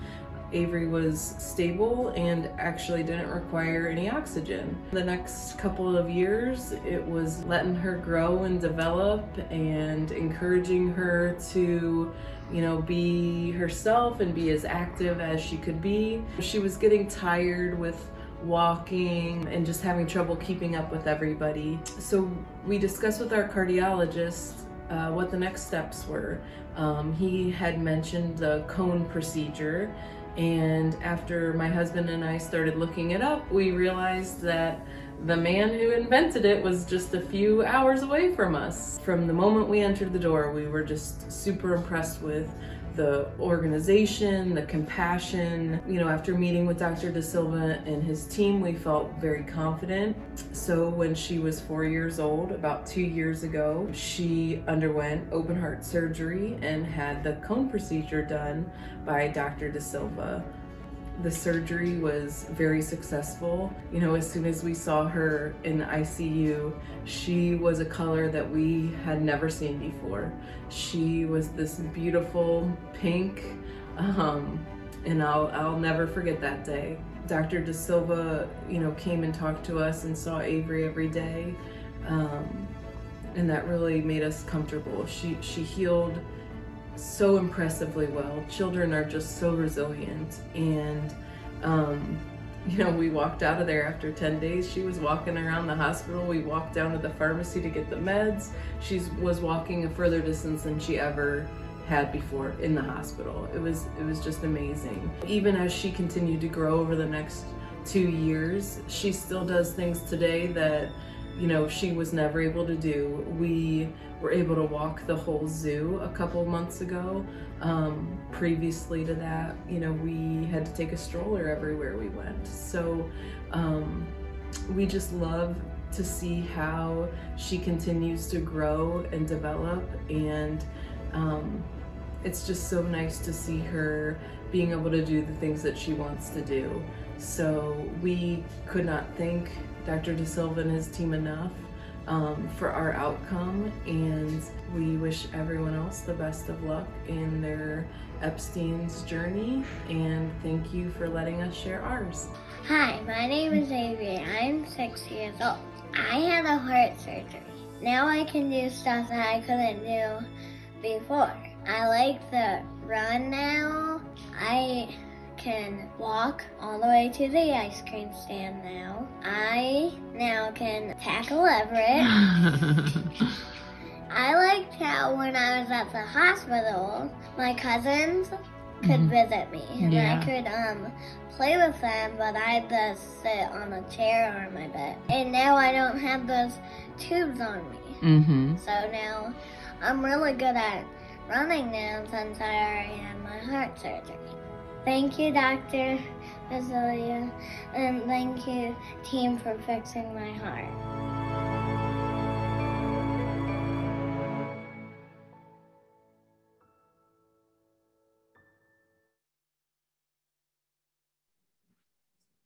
Well, uh, that was quite a video. I have to say, it's the first time I see it myself, and uh, it, it really uh, is what this is all about, isn't it? It's about taking care of kids. It's about changing lives. And uh, I have to say, in my lifetime as a cardiac surgeon doing pediatrics, there have been few procedures and, and treatments that we've created, instituted that have dramatically changed care. And I have to say that Jose Pedro uh, came up with this brilliant idea and, and he instituted it in Brazil. Um, I believe it was in the early 1990s when he came up with this and did his first case, I believe it was 1993. Uh, 2004, he published uh, first paper on his new technique, which is obviously we call the cone, which we call it the Da Silva cone repair because you know he's the guy who invented it and and and brought it forward. Um, and it's been tremendous having him here in Pittsburgh. He's a, a tremendous human being. And, and you know that story is what this is all about. It's about improving lives. It doesn't matter where it is, but we can change kids' lives, and the cone procedure hopefully can can and, and will help us do that. Um, I am very happy to introduce Jose uh, to the world. Uh, he, I'm sure you all know him. Um, and he's going to go over the basic uh, surgical technique of the cone procedure. Jose. Uh, thank you, Dr. Victor, for the kind invitation. And also thanks for the idea of founding uh, the Da Silva Center for Ebstein Anomaly. Um, I'm very happy to be here and to talk about the, the basics of the cone uh, technique. Ebstein anomaly presents a large spectrum of morphological variation, which have incited the creation of many surgical repair techniques over the years. The most well-known technique and have helped a lot of patients in the past before the cone was the Danielson and Carpentier technique. Although they have some limitations, uh, they're, they're very useful techniques. Uh, here, uh, this figure depicts the Danielson uh, technique, which is a variation from, from the Hardy Hunter and, and then Hardy technique. And here you have anterior leaflet and that lateralized portion of the right ventricle. He placed sutures in the annulus of the, the true annulus, the tragus valve, and here mattress suture. Then once he tied them, they do, he does um, transverse plication. And then they de decrease the size of the annulus and get a monocuspid valve closing with the septum. Uh, this operation is, is, good, but he needs to be a very mobile anterior leaflet to perform it since it does not touch the, the leaflet themselves. Uh, because of those limitations, uh, in this series of 184 patients, under the age of 12, actually the mean age of 7.1 years. Uh, he was able to repay, uh, to repair the valve in only 28% of the patients and replace the valve in 63% of them. In this follow-up uh, Kaplan-Meier curves, you can see that when you compare replacement versus repair with the Danielson technique, uh, in adult, when we repair the valve, uh, um, about 85% of them, after 15 years, uh, I still didn't have any uh, reoperation. But when you analyze the, the kids that have tricuspid valve replacement at 15 years, only 40% of them were free of reoperation. Here, in the technique of Carpentier, he really detached the uh, part of the anterior, the inferior technique, uh, the inferior uh, leaflet of the tragus valve, and then uh, he, he plicated the ventricle vertically now, and put the valve in the right atrioventricular uh, junction. And then he used the Carpentier ring to reinforce it. He operated older patients, which are more risky, but he had um, 10% uh, of mortality, hospital mortality, and in 10 years, mortality uh, survival was 75%. Uh, so having those things in mind, we have developed an operation in 1993 intend to be a single strategy to approach all the wide variety of anatomical presentation of ABC anomaly. The base of this operation is to mobilize all uh, the leaflet tissues and then construct a valve in the format of a cone and so this valve now uh, does not close against the ventricular uh, septum, but close uh, leaflet to leaflet mechanism. Here is the concept. You see that we detach the leaflet, leaving only a small area of attachment near the apex of the heart. And then uh, if necessary, we make some fenestration and then reposition the valve uh, and the normal atrioventricular junction. So uh, this is uh, a picture uh, showing uh, the beginning of my experience, basically. So what I did, I detached, I had a case that I, I was planning to do a, a Danielson technique, which I had learned the Cleveland Clinic. And then uh, when I was there, I saw that was impossible without touching uh, the leaflet. So I detached the part of the anterior like Carpentier did, even though I didn't know the Carpentier technique. And I was planning to suture it in, in the septum. But then I saw that it was very close to the other side of the anterior leaflet. So I detached the septal aspect of the anterior leaflet and then I rotate this and construct a cone. And the patient uh, did well, even though she had to be reoperated three years after uh, to perfect the repair. So in this case here, we have absent septal leaflet. Uh, and, but this didn't bother to construct the cone because we have enough tissues to ignore the septal leaflet. And here you can see a nice cone with two vertical sutures and a good uh, uh, result to the saline test, so no regurgitation. In this movie, I saw the cone, uh, I showed the cone performance in the patient where I used the septal leaflet. Stop. So here we have the true annulus and the septal leaflets very displaced. So first we take down the anterior leaflet. Then we take the septal leaflet and make some fenestration on it. And then those are the fenestration. Then we suture the anterior leaflet to the septal leaflet, and then the posterior leaflet also to the septal leaflet.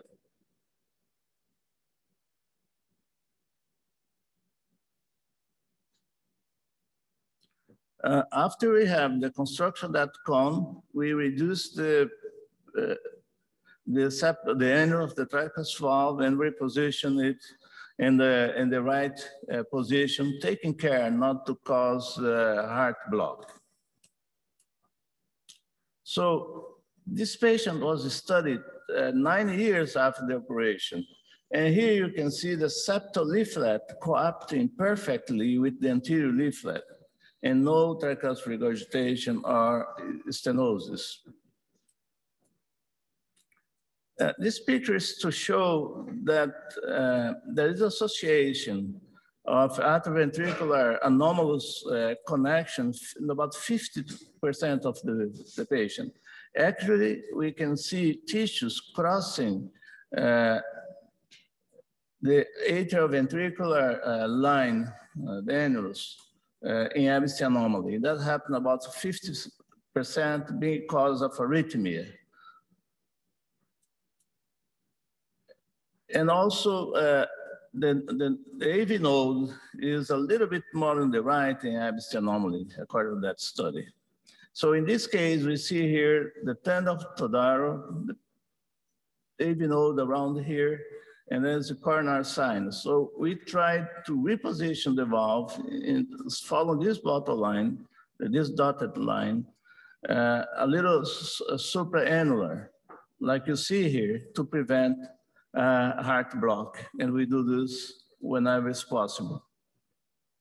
Regarding uh, the, yes, the closure, in this PFO, we typically put one single stitch in, the, uh, in the most posterior part of the septum, uh, the primum septum, and then we, we bring it under. We, we, we making the valve mechanism for the foraminal valve.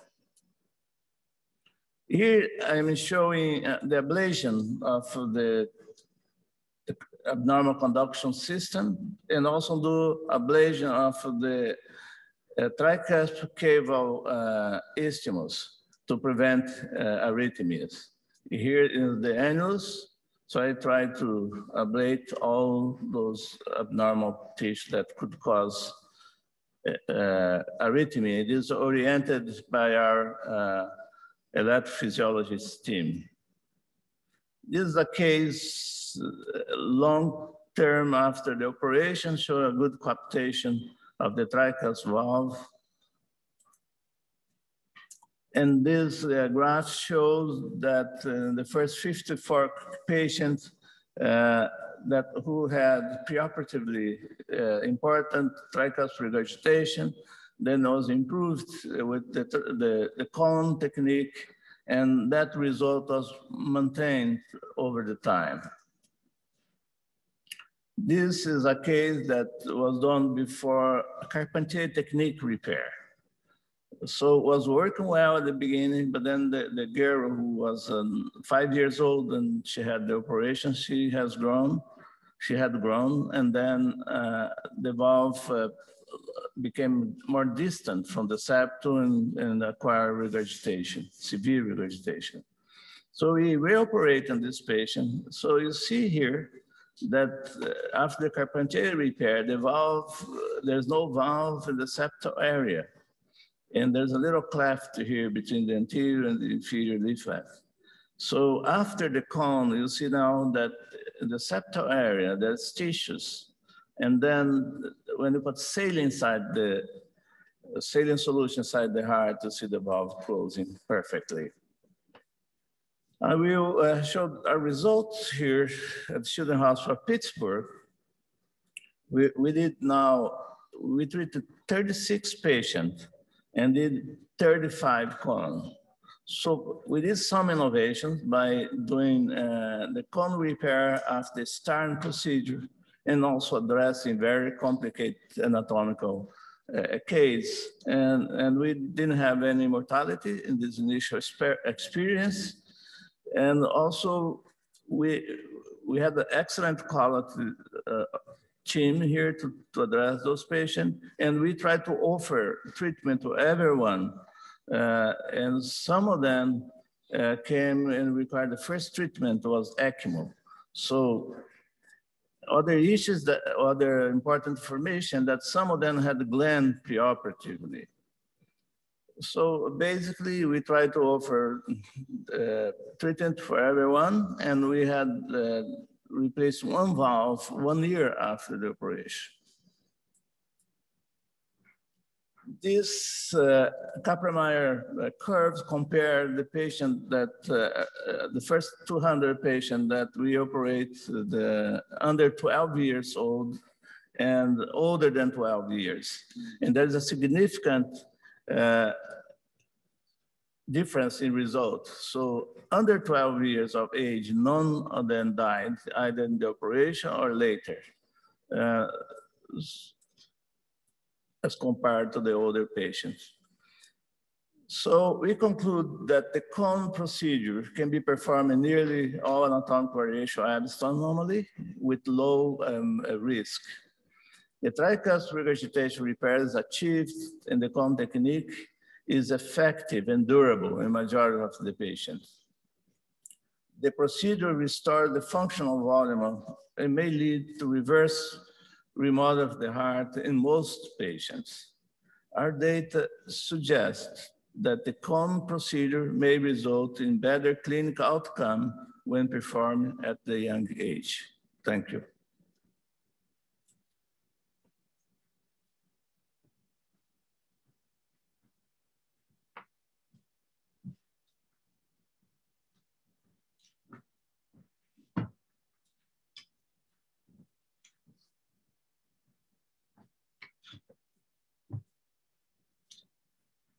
My name is uh, Lee Beerman, um, pediatric electrophysiology at Children's Hospital. And I'm uh, introducing our next speaker, Dr. Gaurav Arora, who is Associate Professor of Pediatrics, uh, Associate uh, Vice Chair of Pediatrics uh, for Clinical Affairs and Ambulatory Care. But his true passion is electrophysiology. And it's been uh, a real pleasure for me to work with him over the last 15 years as uh, almost 15 years as associate director of electrophysiology. Dr. Arora is a great clinician, uh, mentor, teacher, and researcher. He is uh, interested in uh, Wolff Parkinson White and has made some important discoveries. And he's going to address the uh, very challenging arrhythmia substrate in Ebstein's anomaly.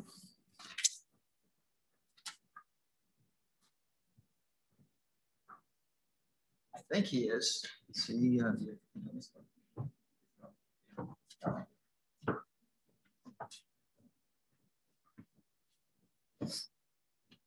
uh, thank you, Lee, and thank you, Victor, and thank you to the organizing committee for giving me the opportunity to speak with you today about arrhythmias and Ebstein's anomaly, diagnosis and management.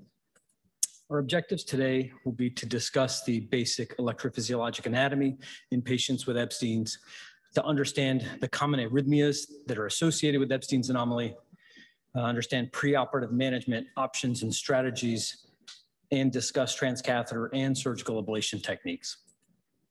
So in this Netter diagram, we have our usual hallmarks of the cardiac conduction system with the sinus node located in the superior right atrium, atrial conduction tracts coursing through the right atrium down to the inferior septal location in the triangle of Koch of the AV node, uh, followed by the His bundle and infrahisian conduction system.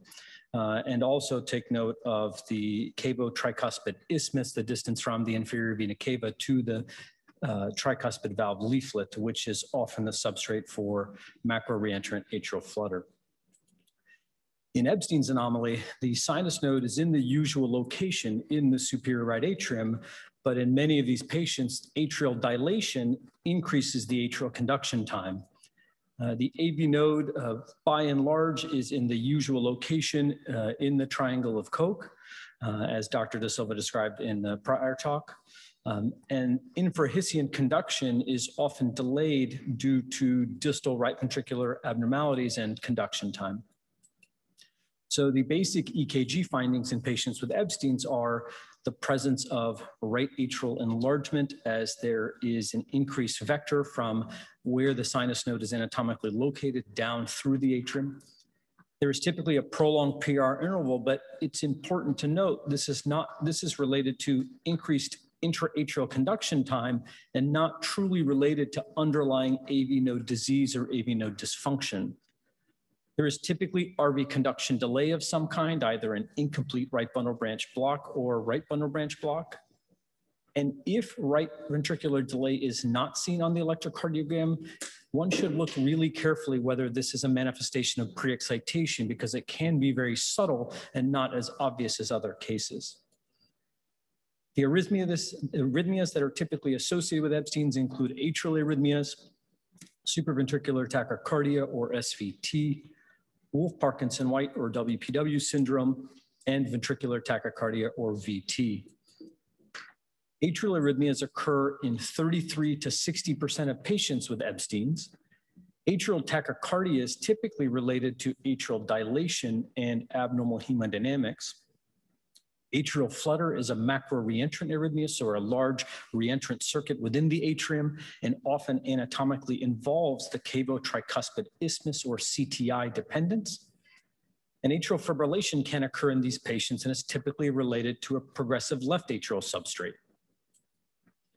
This is an ECG with a typical appearance of atrial flutter.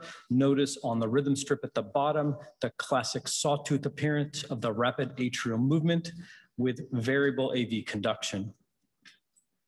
This is an adolescent with atrial fibrillation. And again, notice the classic EKG hallmarks of an irregularly irregular rhythm with no obvious or discrete P waves in the baseline.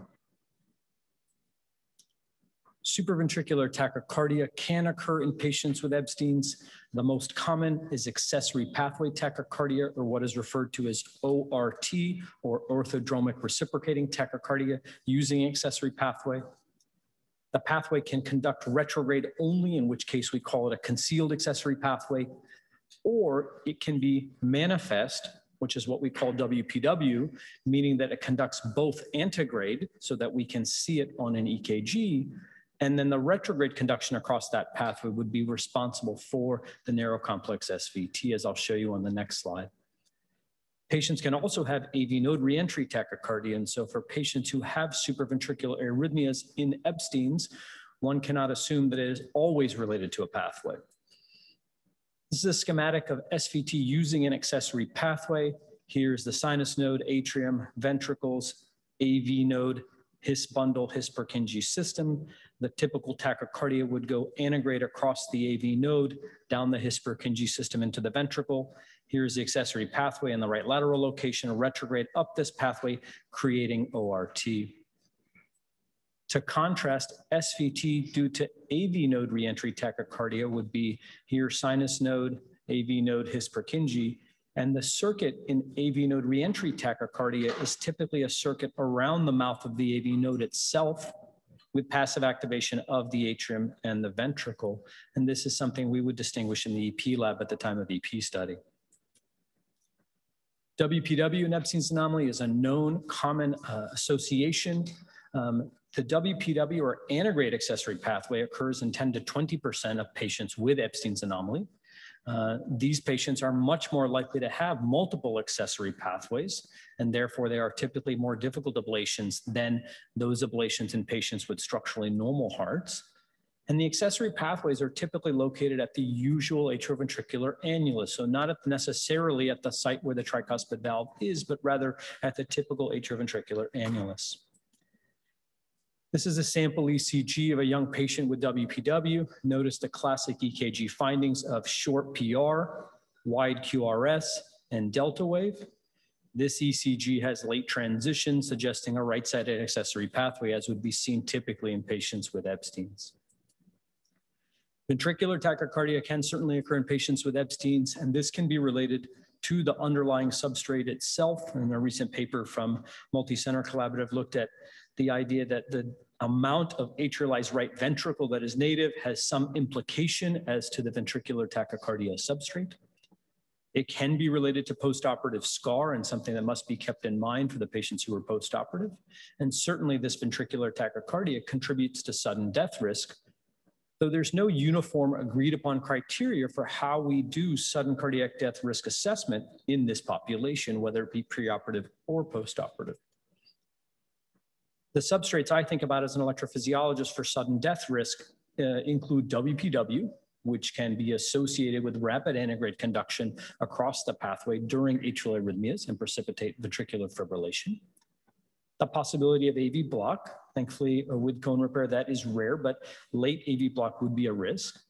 And then ventricular tachycardia, native VT or post-surgical scar VT. In the literature, one of the um, largest papers looking at sudden death risk was this experience published in 2018 from the Mayo Clinic. They looked at their cohort over four decades and looked at almost a thousand patients, largely an adult population, 80% with severe Ebstein's and about 20% with accessory pathways. And the risk factors they published were prior VT, which would certainly make sense that the presence of known ventricular tachycardia would contribute to sudden death clinical heart failure in these patients. Um, I don't think that we would extrapolate this to our young patients who have symptomatic Ebstein's as we have seen, because that's, I don't believe, the same pathophysiology. The presence of prior syncope, which uh, we would all agree is a concern for the presence of a dangerous arrhythmia. The presence of pulmonary stenosis or the presence of polycythemia indicating chronic cyanosis. Um, this is one of the few papers in the literature about how, what sudden death risk factors we should be following. Uh, but as I mentioned, I don't think there's uniform agreement in this population as how to risk stratify them for the purpose of placing a primary prophylaxis ICD. Preoperative electrophysiology study, or EPS, is certainly a discussion in these patients. Uh, there are groups that have published and advocate doing a preoperative EP study for all patients undergoing cone repair. Um, but in speaking to people, I think many others, including us here at Children's Hospital of Pittsburgh of UPMC, perform preoperative EP study in select patients based on their arrhythmia history. So either a history of SVT, WPW, or VT, or symptoms suggestive of an arrhythmia, suspicious palpitations, or clinical syncope not otherwise explained. When doing ablations in WPW for these patients, accessory pathway ablation is certainly more difficult in the presence of Ebstein. It is common for these patients to have multiple accessory pathways ranging from 6 to 36%. The electrograms in the EP study are often very fractionated in the atrium, which makes interpretation difficult. Uh, and the most common locations for these pathways are right posteroseptal, right posterior, and posterolateral, or as one would imagine, along the inferior margin where the largest amount of tricuspid valve abnormality is found. As I mentioned, the accessory pathways are typically located at the usual annular location. So one strategy that has been employed is to consider locating the right coronary artery, the right AV groove. And this can be done either with an angiogram during the case, use of a coronary wire into the right coronary, or a small mapping catheter, such as a two or three French mapping catheter, uh, to assist in annular location at that time. And recently, there's been an interest in using mapping with high density catheters to facilitate accessory pathway location as well and help us understand where the true annular, annular signals might be found. Surgical ablation absolutely is part of the discussion and should be uh, considered in patients for whom it's appropriate. Um, we should consider right atrial maze for patients who have no atrial tachycardia or macro-reentrant atrial flutter demonstrated. For patients with atrial arrhythmias and right atrial tachycardias, atrial debulking, I believe, plays an important role in helping to improve the hemodynamics and reduce the atrial stretch that leads to atrial tachycardia. You consider a left atrial maze for patients with documented atrial fibrillation. And surgical accessory pathway ablation, as Dr. Da Silva showed in his last case, is very useful if transcatheter accessory pathway location is unsuccessful. Cavo tricuspid isthmus ablation, um, the CTI may be more difficult to anatomically access after surgery based on where the septal leaflet is placed back. And so one thing to discuss is whether if a if a linear probe allows for a fully transmural CTI ablation line, one could consider empiric CTI ablation line for all patients as part of a cone procedure to prevent future isthmus-dependent atrial flutter. I think this could be done safely with low risk of atrioventricular block given the CTI location and the ability to place that line lateral to the septum and far away from the AV node. Uh, and I think the key features would be um, the ability to deliver a fully transmural lesion with a linear probe, uh, but having the CTI exposed prior to reinsertion of the leaflet uh, is an advantage. In summary, arrhythmias are relatively common in patients with Ebstein's anomaly, and I think that um, uh, arrhythmia assessment is an important part of preoperative strategy.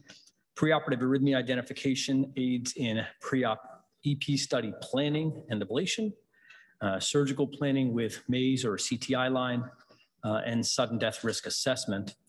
Um, consider a preoperative EP study for patients with known history of arrhythmias or symptoms suggestive of an arrhythmia transcatheter ablations for SVT substrates or hemodynamically stable VT substrates that could be mapped, and consider CTI, ablation as a routine part of cone procedure, uh, at least worth discussing. Thank you.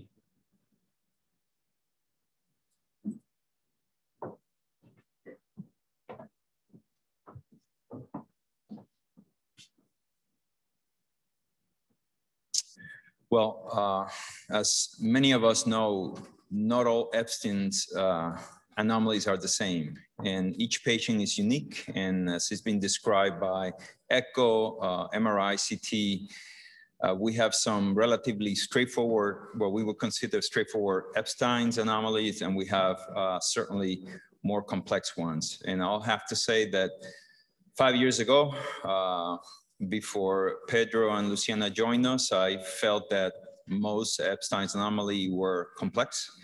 And uh, I always felt extremely frustrated with the outcome of the surgeries because it was inconsistent and somewhat difficult and not enjoyable procedures. Uh, and I will tell you, my world has changed um, with, uh, with the cone procedure, which is reproducible. Um, you usually end up with, with a significantly improved uh, result. Um, it's, it's a game changer.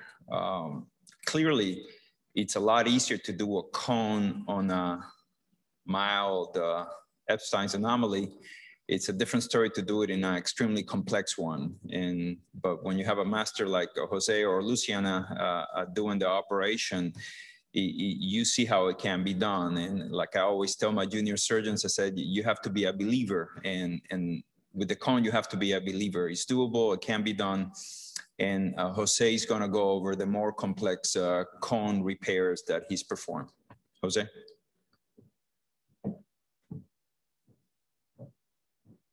Victor, thank you again for your kind presentation. Uh, it has been a pleasure and honor to join your great team of uh, cardiac surgeons and, and, cardiologists at the Heart Institute of Children's Hospital, Pittsburgh, UPMC. So the main surgical challenges in Ebstein anomaly repair are the severe tricuspid valve morphological malformation, tricuspid valve rotated, extremely rotated, say, to the right ventricular outflow tract, and severe damage to the right uh, ventricle structure. And of course, a heart failure newborn with Ebstein anomaly, which Luciana is gonna uh, uh, address. So here we have a, a lady who was 40 years old, and then she started having symptoms with Ebstein anomaly. The reason she had late symptoms because she had a good structure of the, the, the right ventricle, and she had uh, mod, uh, also she had severe uh, tricuspid regurgitation. So when we operate on her, you can see that we construct the cone easily, and there is uh, good support for this valve and for the right ventricle. In the right, you can see that the valve closes perfectly. And here the echo shows a good structure for the right ventricle with papillary muscles and everything, muscles and everything, uh, and a good function uh, for the new valve. This patient also presents a relatively uh, good um, structure for the right ventricle and for the tracheal valve. Here's the anterior wall, the inferior wall, and this is the septal wall, uh, the septal the anterior, uh, the, the anterior uh, leaflet, the inferior leaflet, and the septal leaflet. So we took down the anterior leaflet, the inferior leaflet, and then uh, made that incision here and also took down the septal leaflet. The septal leaflet at the end became the support for the inferior leaflet. And then we had an excellent uh, result. But this patient had was 90 years old and have a, a long history of cyanosis. So here you see the tracheal valve closed very nicely, good inflow, no regurgitation, but the right ventricle doesn't work so well. Uh, so I think the long, uh, expecting long-term with cyanotic patients is not, uh, is not good for the, the recovering RV. And here we have another patient who had uh, global dysfunction of the heart, left ventricle dysfunction, right ventricle dysfunction, very dilated right ventricle, and had a gap of coaptation here between the uh, anterior, maybe inferior and septal leaflet. So because of this uh, different behavior, we did a heart catheterization as you see here, is a dysfunction right ventricle, very important regurgitation of the tracheal valve. And the reason for that is that she had a very dominant uh, right coronary artery, which was stretched by the right side of the heart dilation, probably caused some degree of ischemia. So this girl didn't do well at the beginning. We had placed her on ECMO for 24 hours, but then she recovered nicely. Here you see the function of the right ventricle is very reasonable, good function for the tracheal valve. And here, there's a sign of good reco recovery of the right ventricle, which is uh, the shunt, uh, the, the atrial septum is from the left uh, to the right, indicate a good function for the right ventricle. The chest x-ray preoperatively was very enlarged. The heart was very enlarged. And uh, only two days after, the heart was much smaller. And the patient uh, really did an, excellent recovery and went home very early. So here is to show that it was this paper, this publication by Dr. Schreiber, unfortunately died young, died young, and Dr. Robert Anderson showing the different uh, situation of the abnormal angle of the tracheal valve and anomaly could be, the rotation could be minimal or could be very important in the valve opening toward the outflow tract of the right ventricle. So to construct a valve, to bring those tissues in this place, uh, the valve opening toward the apex of the heart is more difficult when you have extreme rotation. Uh, this patient uh, uh, had uh, here you can see uh, a gap of coaptation between the anterior and septal leaflet with the regurgitation. And then in this view of the outflow tract of the right ventricle, you can see that the anterior leaflet opens the, toward the, the pulmonary valve, very near the pulmonary valve, and there's a regurgitation here. So we have double orifice, one near the outflow tract of the right ventricle uh, in the outflow tract of the right ventricle, and the other one uh, near the apex of the right ventricle. Importantly, this patient had a severe dilation of, of uh, the outflow of the right ventricle. See here is round and uh, is, is severe dysfunction. Here's the pulmonary artery. And this area should be different, so it's very dilated. Uh, we did the operation, uh, we recovered the valve, but here the ventricle has some dysfunction. As you can see here in this cross section of the cone, uh, and there's some dysfunction uh, of the, the heart early on, the early postoperative time, despite of a good function of the, the tracheal valve. Although this girl was young and she is doing very well clinically and, and improving the, the function. And this is specimen that uh, was shown by our colleague Bill uh, Devine today. We can see that uh, the tracheal valve uh, is like a membrane that is very uh, tethered uh, to the anterior wall and the inferior wall, and the septal leaflet is displaced. And here you can see the opening of the valve toward the outflow tract, which you see here. And the important thing is that the outflow tract in this patient who died when he was only 14 years old of age uh, uh, was very dilated and thin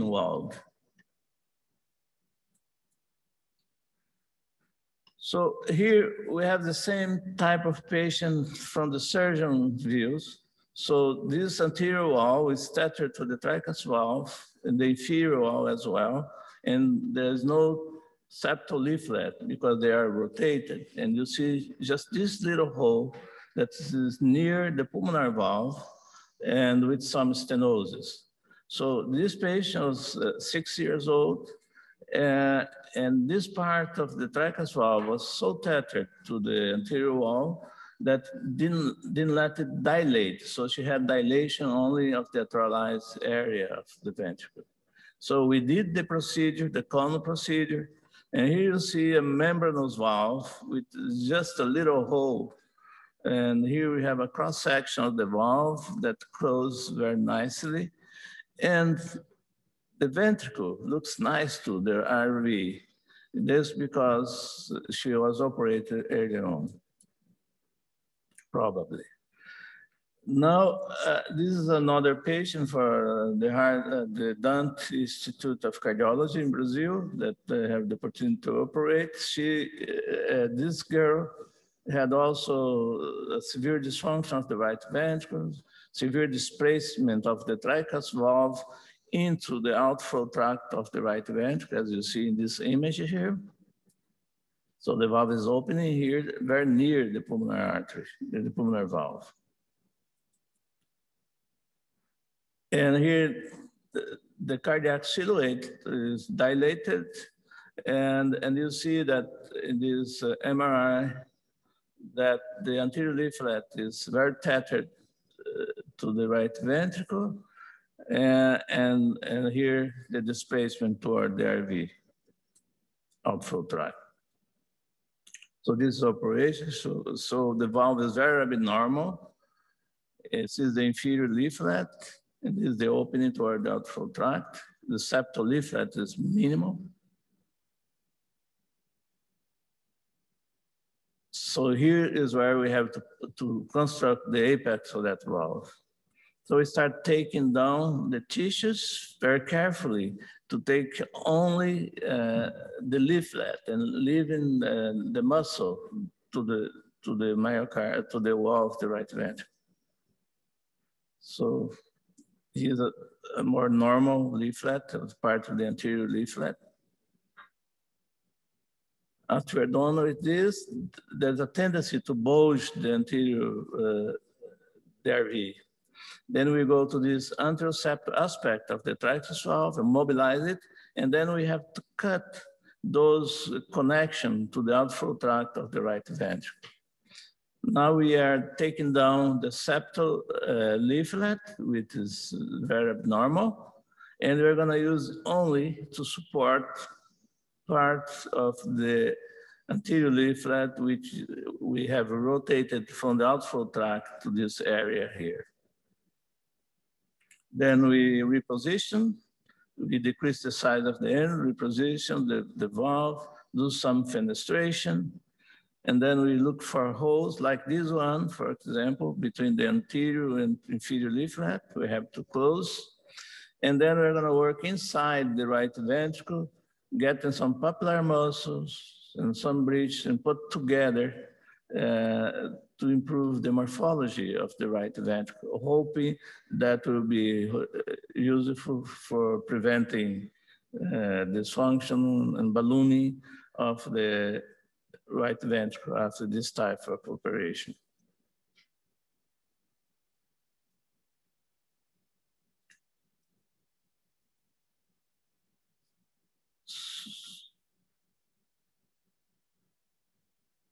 So now we finish, we position the trachea valve and we have excellent result at the end with very good coaptation of the leaflet. These are the echocardiographic results. You see that there's some prolapse of the valve, but the coaptation level is more in, internal, uh, more distal, and the valve coapts very nicely. Uh, for uh, you see some muscle here that was taken with the leaflet that tend to thin over the years, and here's the 15 days after the operation with good um, hemodynamic and valve result some dysfunction of the right ventricle. This is another difficult case where the patient was 10 years old with a huge uh, right ventricle and, and, heart and right atrium. But here we have notes in this MRI that the very thinning of the apical part of the valve, has some, uh, and also in the, in the outflow tract of the right ventricle. And here you see the left ventricle that is very small, compressed by the right ventricle. So in this operation, we remove some uh, of this thin wall uh, of the right ventricle And so we reduced the, the size that way and also in the outflow tract of the right ventricle. And we did a good construction of the, the, the trachea valve. And she responded well. So 10 days after the operation, the heart was already smaller, mostly because of the surgical maneuvers. But then after four years, the heart was almost normal size. And she was having some arrhythmias, atrial arrhythmias, and because of treatment, she required an atrial pacemaker. So this is the first drawing uh, with the Dr. Ebstein description of the disease. And I'll tell that probably this case would be repairable nowadays. So uh, to summarize, an excellent tracheal valve repair does not assure a good myocardial performance. Chronic cyanosis seems to be a factor prevent RV reverse remodeling. Good mobility of the tricuspid valve anterior leaflet favor good postoperative right ventricle function. Severe rotation of the tricuspid valve into the RVOT linear attachment of the tracheal valve leaflet and RVOT dilation seems to indicate a bad prognosis for the right ventricle post-repair uh, post performance. Early surgical repair in cyanotic Ebstein anomaly patients and in complex Ebstein anomaly anatomy seems to be beneficial. Thank you.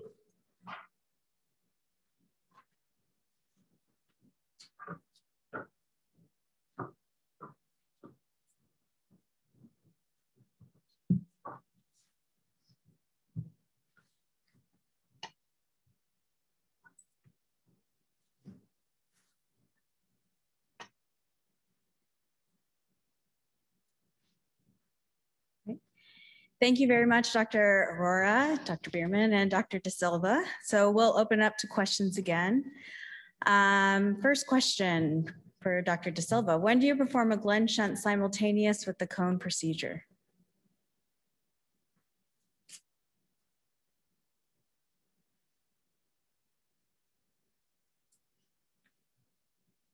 So the first question is about? Is the performing a Glenn simultaneous with the cone. All right. Okay. When um, normally in Ebstein anomaly, uh, we we leave a type of pop-off uh, defect in the septum, uh, the, the atrial, atrial septal level, because very frequently the patient develops heart failure, dysfunction right, and the early postoperative care. When the right ventricle is so big the, in the beginning, and you know that the, the result of the operation will be not very good, there will be severe dysfunction.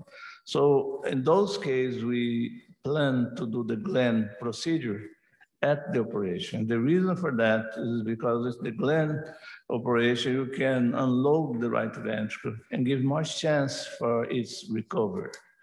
So uh, that will be uh, an indication. And also for postoperatively, if the patient is not doing well, and they are, then uh, this could be very helpful.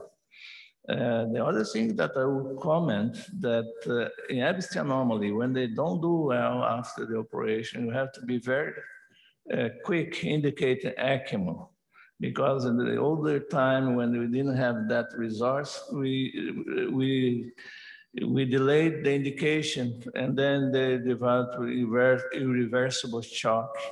So if you want to recover the patient, you have to be very aggressive uh, using ECMO if you have any doubt about the, uh, the, heart function and the patient develop low cardiac output. Okay. Next question also for Dr. Da Silva. So what do you consider the best weight or age to get the surgery? Yeah, this is, is a tough question because it depends. If you want to, to do routinely, I think three to five years would be good to manage the patient. But if the patient is cyanotic, I, I will do it between six uh, months and a year. If the patient has a very complicated uh, um, anatomy and you start dilating the outflow tract. Because this is something that can be misleading because uh, the, the tissue are displaced around uh, in, in, inside the ventricle, very attached to the anterior and sometimes to the inferior wall.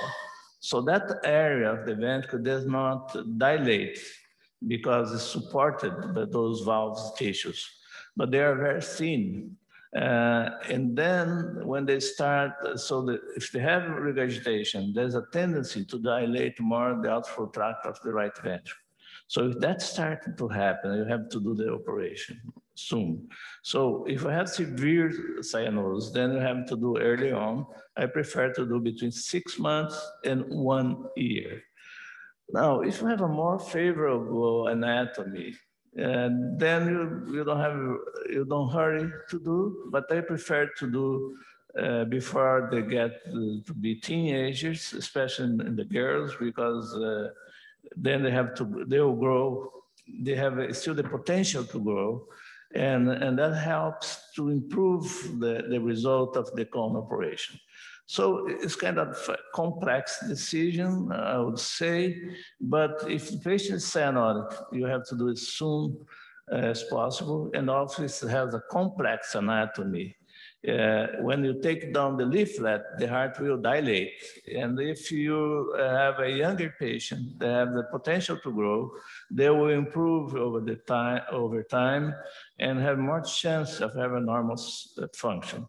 I, I was really surprised when I saw studies of older patients of mine, and some of them with a perfect valve and perfect repair, but still the RV uh, was not uh, working so well with severe dysfunction, even though most of those patients were, uh, didn't have any symptoms. But I am worried about the long, the long uh, term follow-up result on those patients. And now an even tougher question. So how are your experiences of a cone repair after a Carpentier or a Danielson repair?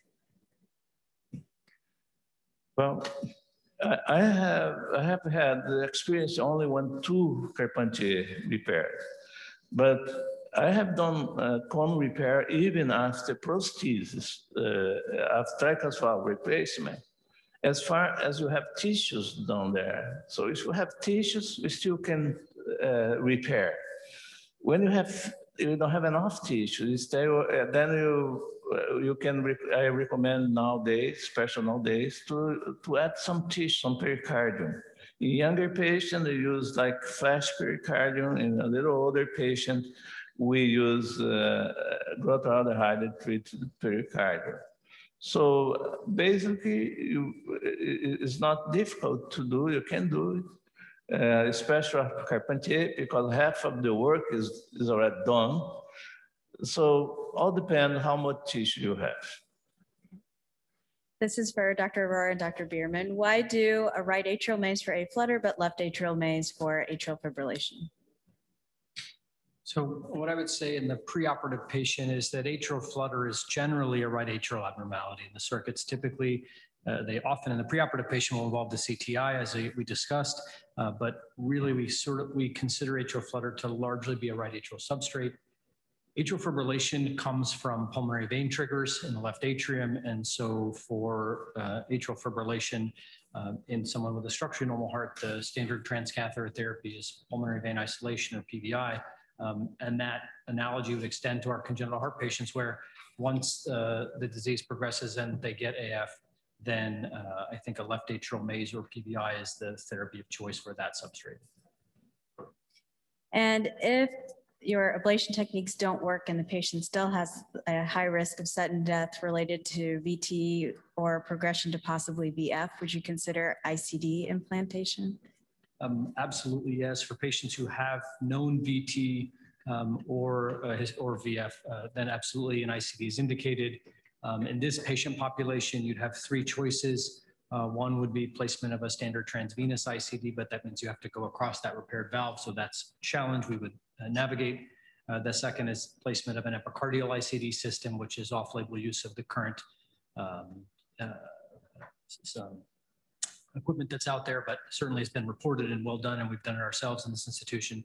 Uh, and then a current uh, newer technology in the last few years is the availability of the subcutaneous ICD for patients who are large enough that we can do that where we avoid the transvenous space. But the short answer to the question is yes, for patients who truly have ventricular arrhythmias, they absolutely would meet a class one indication for an ICD. I think the challenge, as I alluded to in my talk, is simply um, how do we identify those patients who might be at risk for ventricular arrhythmias? Is it, it remains a challenge for all of us to pick those patients correctly. And then Dr. Da Silva, do you always plicate the atrialized right ventricle? Dr. Del Nido once said he believed the plication can cause post-op cardiac arrhythmias. Well, uh, this is interesting to think rationally about that. If you need to plicate uh, too much, I, I normally I plicate small areas and on the scene wall, and with only uh, endocardial suture. But when you, you see that you have patient big atrium, you have possibility of arrhythmia, you have to try to isolate that area electrically. Otherwise, you cannot come back to it. And the other issue that we have to be careful is about causing ischemia in that area, because the ischemia can be a cause for arrhythmia in the future. Uh, so you have to be very careful about, the, about that exclusion. Now, when you have especially uh, small patients, normally I don't do plication like, uh, I mean, the classical plication. What I do, I put sutures, isolated sutures. Then you can have access to treat arrhythmia. And also in young patients, they can um, they can develop myocard in that area as it grows. Uh, so I don't always plicate um, classically, but always put sutures to decrease the area of the uh, of the RV uh, uh, functional shunt uh, uh, chamber after the coma. Should all patients have a pre-op EP study or is there a minimal age for this in this group? Yeah, I don't think that there's a, a minimal age. I think any, we generally do any indication of arrhythmias, whether it's symptoms, certainly the presence of WPW, I think is an indication for it. Uh, if, if, a child does not have uh, any arrhythmias, symptoms suggesting that, or any abnormalities on the EKG other than a right bundle branch block, I don't think we would do it uh, for that. But if there's any indication, there's no age limitation to it. Um, Dr. Da Silva, for adults with Ebstein's, are there any criteria you would use to not offer the cone? Okay, well, uh, I always use the, the cone. So in my view, there is no criteria. But I would say if you have a, very bad anatomy and that we have to put more tissues in the valve to construct the cone. It'll be very complicated. I think in, in patients that over 30 or 40 years of age, you can uh, do plan for a replacement. Uh, but I haven't had uh, the opportunity to do this, except in a lady that she asked the replacement to make the operation shorter, as the Dr. Luciana has mentioned. Um,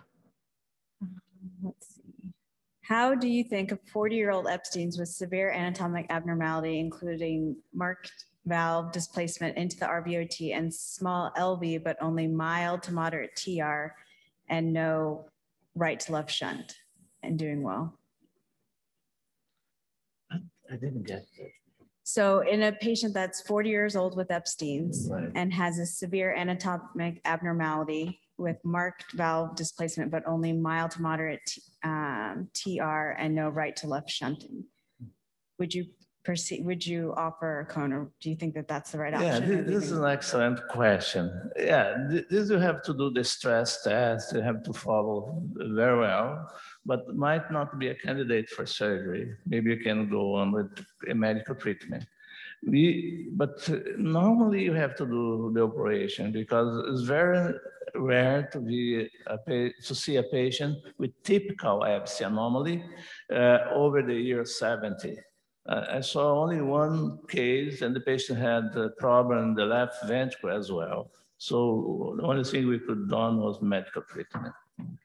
So we're going to close the discussion for now. Don't worry, a lot of your questions will be answered. Not if they're not answered live, we will get to your answers eventually. And next up, we have Aaron Colvin, most likely with an, another inspiring story for us. Hi, everybody. As we prepare for our next group of talks on fetal and neonatal Ebstein's, I want you guys to enjoy this um, short video, uh, Smith and her family and their journey through their neonatal um, Ebstein's treatment.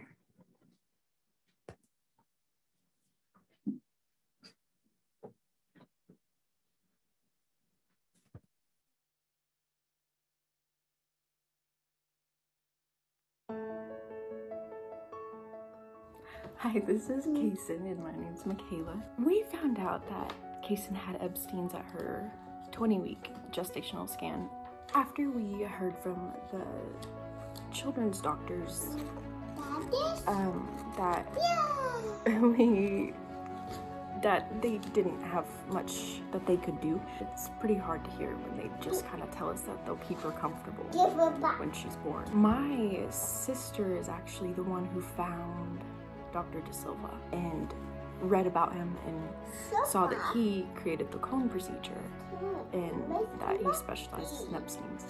We were relieved to see that somebody knows something about what she has.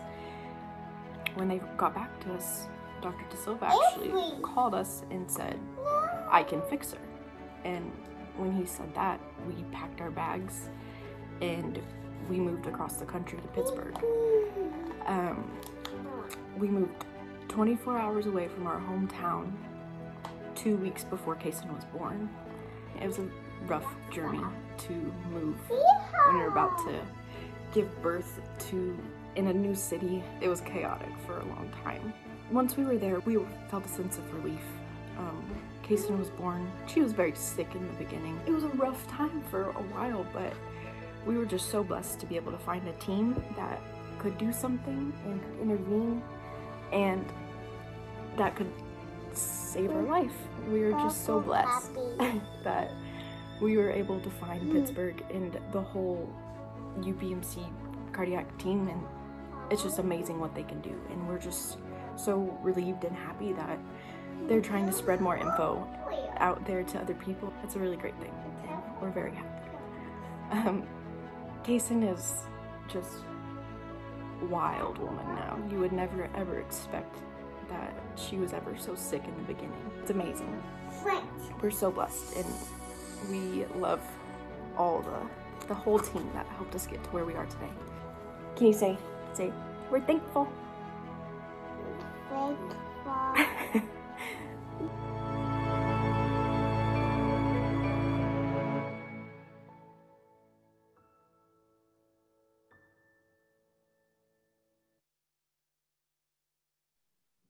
All right. So the Heart Institute at UPMC Children's Hospital of Pittsburgh wants to thank the Congenital Heart Academy for their collaboration with today's events. With their help, we've registered, we have registered participants from all over the globe. Um, following here is just a brief video about the Congenital Heart Academy and what the, they do. And following this, we'll have just a five minute intermission.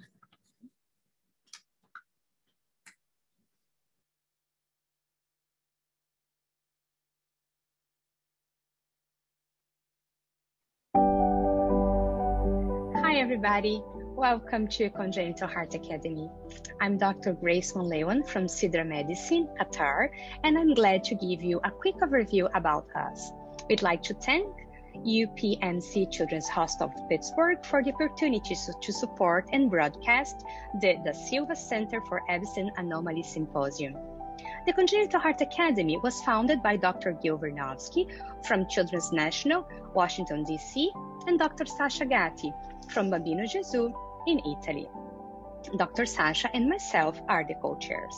We have the great support of more than 60 delegates from all around the world.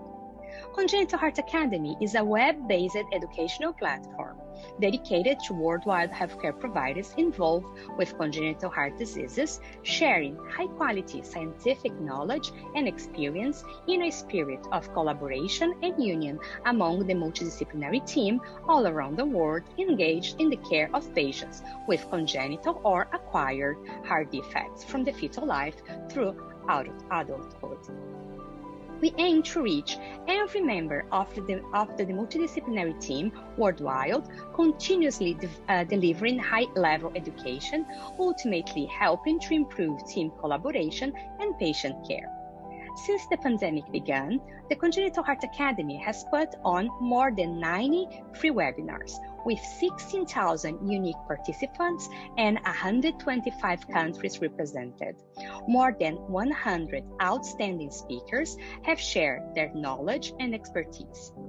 We've collaborated with several societies, including Pediatric Cardiac Intensive Care Society, Congenital Cardiac Anesthesia Society, the Society of Pediatric Cardiology Training Program Directors, Saudi Heart Association, and uh, CENOC, Fetal Heart Golf Group, and the Caspian Heart Foundation.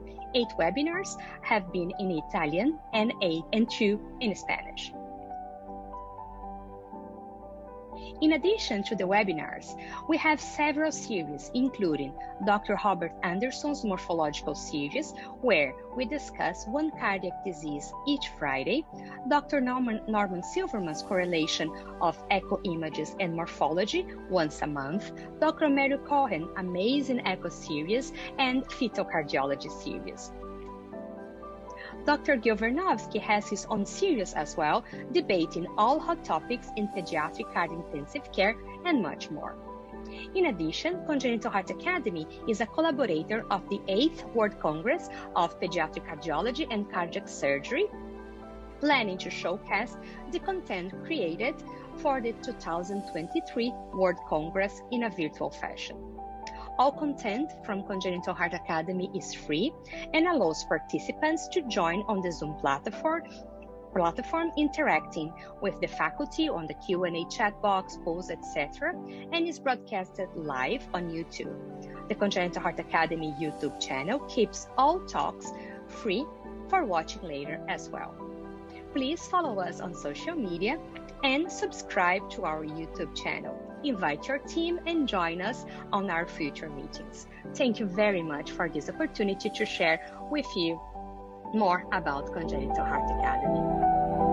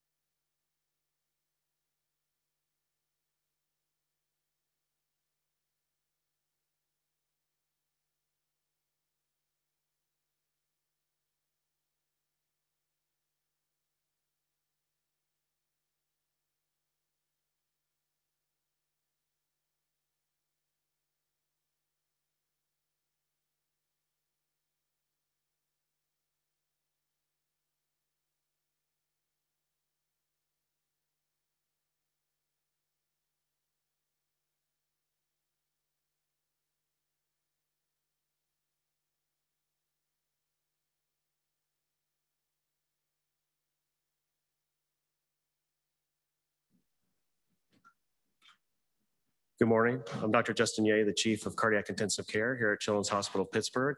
I'd just like to extend a thanks again to the Congenital Heart Academy for their assistance with this symposium today. And certainly we'd like all of us as presenters to extend our thanks to the families who have shared their stories with us this morning.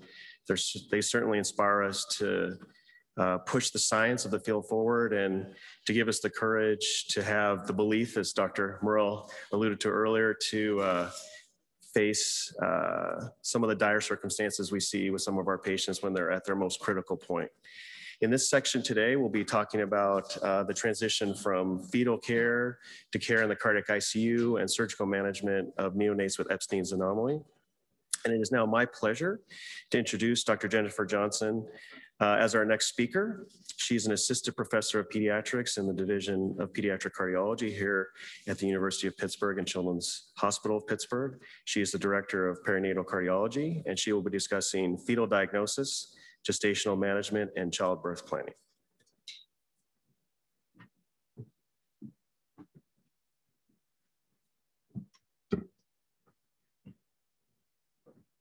Thank you very much for that introduction. Thank you to the organizers and thank you to Luciana and Jose for allowing me to do this talk today. So we are gonna discuss the fetal diagnosis and management and delivery planning of patients with Ebstein's anomaly.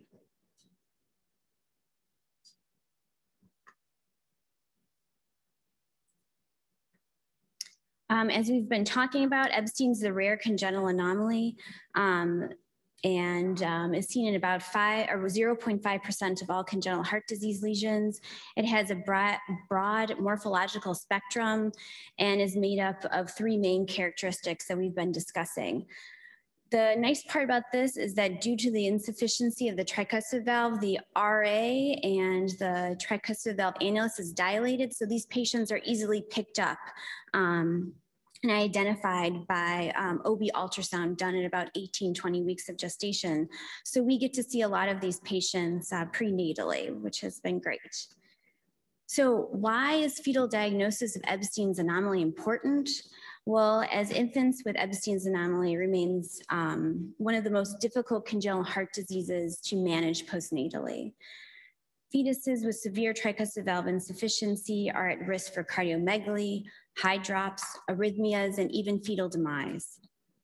In the 2015 multi-center study by Freud et al., uh, the perinatal mortal mortality for this cohort was up to 45%, which is significantly higher than other lesions in the current era.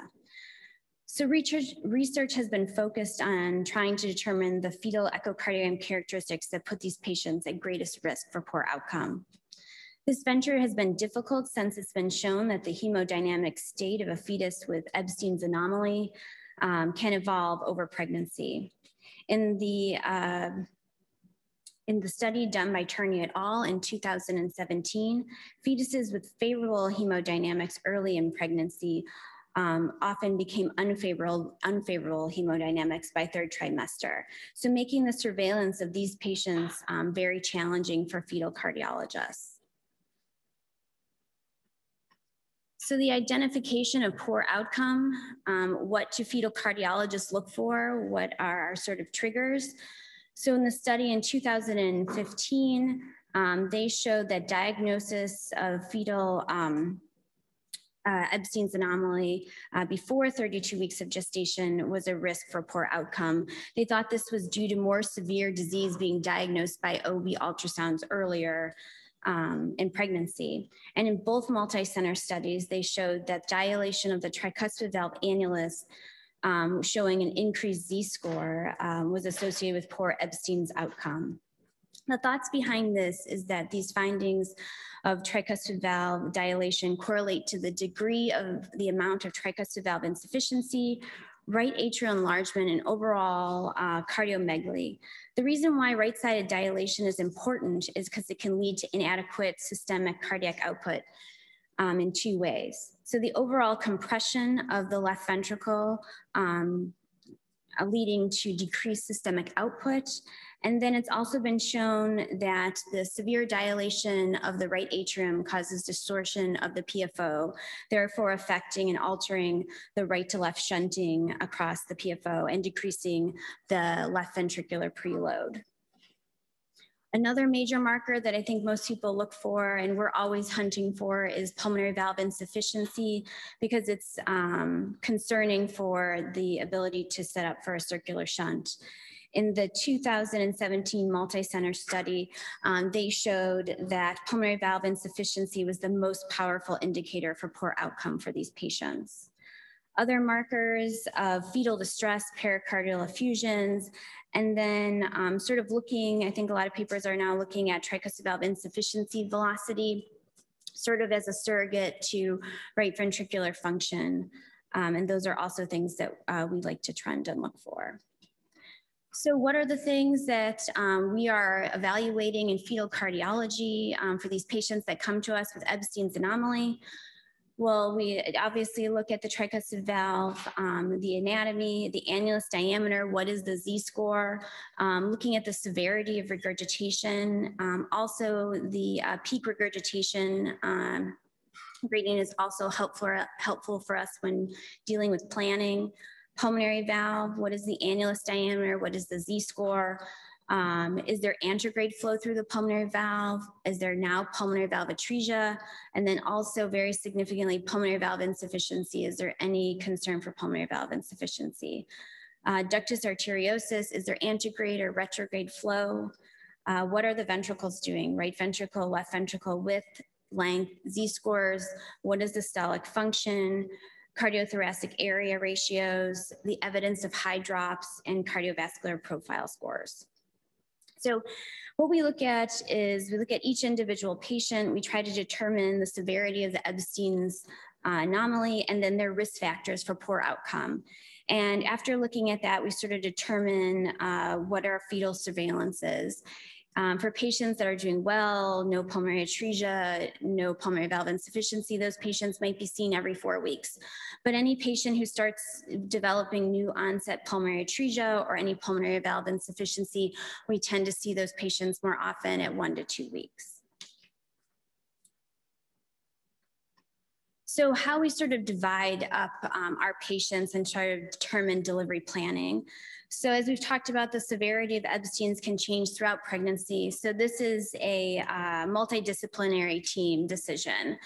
So in our department, we talk with pediatric cardiology, cardiac ICU, NICU, maternal fetal medicine, cardiac surgery. And for our department, the transport team is also very important. Our delivery hospital is two miles away um, from the children's hospital, so they are also taken in consideration when delivering these high risk patients. So for us, we mostly deliver these patients in the tertiary care center. Um, we sort of divide them into three groups and sort of look at um, based on their pulmonary valve flow. So group one are those patients with moderate to severe tricuspid valve insufficiency, and they have antegrade flow through their pulmonary valve. And the P or the tricuspid valve insufficiency peak systolic gradient is greater than 50% of gestational age. Those patients um, usually are able to be supported by oxygen if they have low saturations after delivery. Group two is that group of patients with pulmonary atresia who've had pulmonary atresia throughout their pregnancy um, and uh, they have no evidence of um, pulmonary valve insufficiency. Um, these patients, uh, usually there's you know, um, for at least transport, we, we put them on prostaglandins um, for the transport from the Women's Hospital to Children's Hospital. And then group three, that's our uh, fun and interesting group that always keeps me on my toes. So that, that is the group with pulmonary atresia and pulmonary valve insufficiency. And we sort of look at those all together and sort of determine where best these patients can deliver. Um, right now, we're looking at those patients with RV systolic pressures greater than 50% and pulmonary valve insufficiency, hoping that um, these are the patients that would have the best chance of the pulmonary valve opening. And these are patients that we are not putting on prostaglandins for transportation um, in hopes not to um, worsen a circular shunt. And then there's those patients with the lower um, RV systolic pressures. Those patients, um, we have prostaglandins on standby for the delivery just in case um, oxygen um, is not uh, something, if we need a little bit more than oxygen. Also, we have epinephrine um, ready for these patients because sometimes the left ventricular function is poor. There's also those fetuses with concern for significant hemodynamic compromise uh, due to their circular shunt in utero. These patients can be, considered, can be considered for non-steroidal anti-inflammatory medications. We will not review this uh, type of patient in today's discussion. So we'll go over a couple cases that we've had. Um, case one is a patient of mine who um, had a normal second trimester OB ultrasound and then moved to the Pennsylvania area. Um, they had they established care with a local OB office, which showed a dilated right atrium and interuterine growth restriction. Um, a fetal echocardiogram was uh, performed at 36 weeks of gestation, uh, which showed uh, severe tricuspid valve insufficiency, a tricuspid annulus, upper limits of normal, a CTA ratio of 0.4, so cardiomegaly, uh, RA dilation, and there's antegrade flow across the pulmonary valve. And the RV systolic pressure was 30 at 36 weeks, so a nice um, RV pressure. So here, as you can see in this image, the right atrium is dilated and you can see the tethering of both the septal and anterior leaflets um, in this 2D image. Now looking at color, you can see the um, apically displaced color jet starting here, uh, lower in the ventricle that rises all the way to the right atrium. So we would consider this severe insufficiency. So when discussing this patient, we had her come down to the tertiary center here in Pittsburgh to deliver. She had severe insufficiency, cardiomegaly, IUGR. So it was delivered here in Pittsburgh. Since there was antegrade flow across the pulmonary valve um, and the TR systolic gradient was uh, greater than 50% of gestational age at 33 millimeters of mercury, no prostaglandins um, were, are, were not needed for transport. So how did this patient do? Um, she delivered, oxygen saturations were 96%. She was transferred to the Children's Hospital with severe tricuspid valve insufficiency. She was in the NICU for about seven days and discharged home with moderate tricuspid valve insufficiency. She's currently followed in my clinic and we are determining uh, cone repair timing for her. So she's overall growing and doing well. Case two, so this is a patient who was sent to us because of right-sided dilatation and also uh, father of the baby had transposition of the great arteries. So this patient was sent to us at 27 weeks. The tricuspid valve Z-score was uh, four, so enlarged, severe tricuspid valve insufficiency. And this patient had pulmonary atresia with no pulmonary valve insufficiency, uh, retrograde flow across the ductus arteriosus uh, cardiomegaly, severe dilation of the RARV, and had a lower um, peak tricuspid valve insufficiency gradient at 18.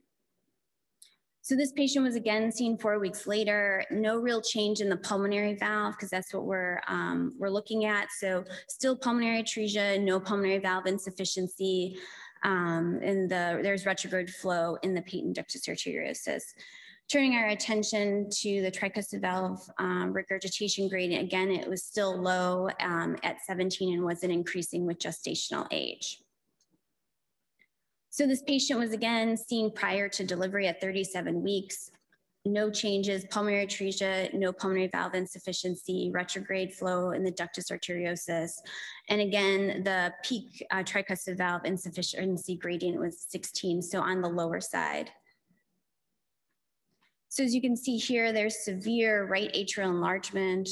There is uh, septal and anterior tethering of both the valves. And you can see again, apically dis displaced tricuspid valve insufficiency that goes all the way to the right atrium. So severe tricuspid valve insufficiency. And then again, as we talked about, we're always looking at the pulmonary valve. So pulmonary valve atresia, we don't really see much leaflet movement. You don't see any pulmonary valve insufficiency and you see retrograde flow in the ductus arteriosus. So for this patient, again, delivery at a tertiary center. For this patient, because there was pulmonary atresia and no pulmonary valve insufficiency and has been that way um, since about second trimester, and the tricuspid valve insufficiency gradient was low, the decision was to put the patient on prostaglandins for transport. Post-delivery, this patient had saturations less than 75%, so was intubated and transferred to the Children's Hospital of Pittsburgh just to show um, how tenuous these children are. Um, this patient developed incessant ectopic atrial tachycardia within the first 12 hours of life and became hemodynamically unstable. They were placed on ECMO cannulation and then underwent a Starnes procedure at day two of life. Um, patient was monitored, and then by six months of life, they underwent a Starnes takedown and uh, cone repair and monocusp pulmonary valve repair, um, and is currently at home. So the last two cases are the challenging ones that um, we're always wondering what to do. So this is another patient um, from the area who just came in because they had dilation of the right atrium um, and uh, came to our office at 26 weeks. The tricuspid valve Z-score was two, moderate tricuspid valve insufficiency, a nice tricuspid valve gradient of 27 millimeters of mercury, and antegrade flow through the pulmonary valve. This patient came back um, uh, three weeks later. And uh, as we talked about, things can change, things can evolve during pregnancy. So just three weeks later, and there's now pulmonary atresia and there's pulmonary valve insufficiency. There's retrograde flow through the ductus arteriosus, no evidence of hydrops. So once we see changes in um, uh, like changes to pulmonary atresia or pulmonary insufficiency, um, our MFM team starts doing biophysical profiles more often to monitor for growth and any signs of distress. Unfortunately, at around 34 weeks of gestation, the patient came in for a biophysical, pro, a routine biophysical profile and was noted to have abdominal ascites and end diastolic umbilical flow um, in their umbilical arteries, as you can see here um, on the Doppler patterns. So repeat fetal echocardiogram showed worsening of the pulmonary valve insufficiency. The TR gradient was 32 milliliters of mercury at 35 or 34 weeks of life. So we were really hopeful that, um, hope, you know, that the pulmonary valve may open. So this patient was admitted um, to the hospital mother was admitted over hospital for monitoring. Um, unfortunately, the infant, the fetus had multiple episodes of bradycardia, so was delivered uh, the next day. Here you can see in their fetal echocardiogram, here's the right atrial enlargement. You can see how tethered the septal leaflet and especially the anterior leaflet really displacing that uh, functional annulus. So again, severe tricuspid valve insufficiency goes all the way up to the top of the right atrium. And again, looking at the pulmonary valve. So here's your pulmonary valve. You really don't see um, much movement. Um, you can see here the retrograde flow through the patent ductus arteriosus. And here you can see the pulmonary valve insufficiency. So for this patient, um, due to concern of worsening circular shunt, the ascites and the umbilical artery Dopplers, it was determined that she would be delivered the next day. Um, since the TR systolic gradient was 32 millimeters of mercury, and our hope was that the pulmonary valve would open, um, no prostaglandins were used for this patient. Um, this patient uh, delivered and her oxygen saturations were 60 to 70 percent uh, she was placed on oxygen um, and transferred to the Children's Hospital of Pittsburgh, um, where a transthoracic echocardiogram showed that the pulmonary valve was opening with decreased velocity across. She, uh, the left ventricle was underfilled, so she was supported with um, epinephrine and dopamine. And by day three of life, she had good velocity across her open pulmonary valve. Um, she was transitioned to sildenafil for afterload reduction and uh, was discharged home on room air 95% and is waiting for um, cone repair timing. And then our last case was a transfer from an outside hospital. Um, this fetus had normal antegrade flow through the pulmonary valve. And then right before they came to us at 34 weeks, the study showed pulmonary atresia, no pulmonary valve insufficiency. So as we talked about, things change. At 36 weeks of gestation, there was still pulmonary atresia, but now there was moderate pulmonary valve insufficiency. Um, and retrograde flow through the ductus arteriosus. The tricuspid valve systolic gradient was 28. So borderline, but still on the higher, um, on the higher end. So as you can see here, there's a dilated right atrium and the significant tethering of the septal and anterior leaflets. You can see the severe tricuspid valve insufficiency going all the way to the top of the right atrium and the pulmonary valve. So pulmonary valve here, not much leaflet movement, and you can see the pulmonary valve insufficiency and the retrograde flow through the ductus arteriosus. So delivered at a tertiary center. Um, this patient actually, after um, after us seeing her in MFM, she was admitted overnight just for monitoring, noted to be in early labor. And since it was her seventh pregnancy, um, she underwent induction. Um, since the tricuspid valve systolic gradient was 28 um, and is borderline, the decision was no prostaglandins, um, and then we would tolerate SATs uh, greater than 70%. Patient was delivered, SATs were 75 to 80%. Um, he was placed on 100% uh, nasal cannula and transferred to the cardiac ICU. Um, Unfortunately, the infant saturations could not stay above 75% without the patent ductus arteriosus open, so underwent a PDA stent at day 10 of life um, to support their oxygen saturations 92% or, or, greater, and um, just recently underwent a cone procedure. Thank you everyone for your time.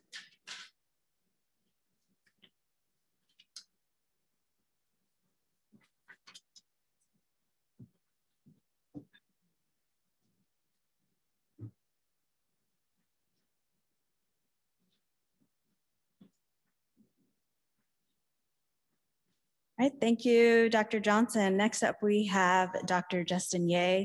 Um, he's going to discuss neonatal Ebstein's care in the CICU. Dr. Yeh joined us in 2018, and he's the Associate Professor of Critical Care Medicine and Pediatrics, as well as our Chief of the Cardiac ICU and Co-Director of the Heart Institute here at Children's Hospital of Pittsburgh.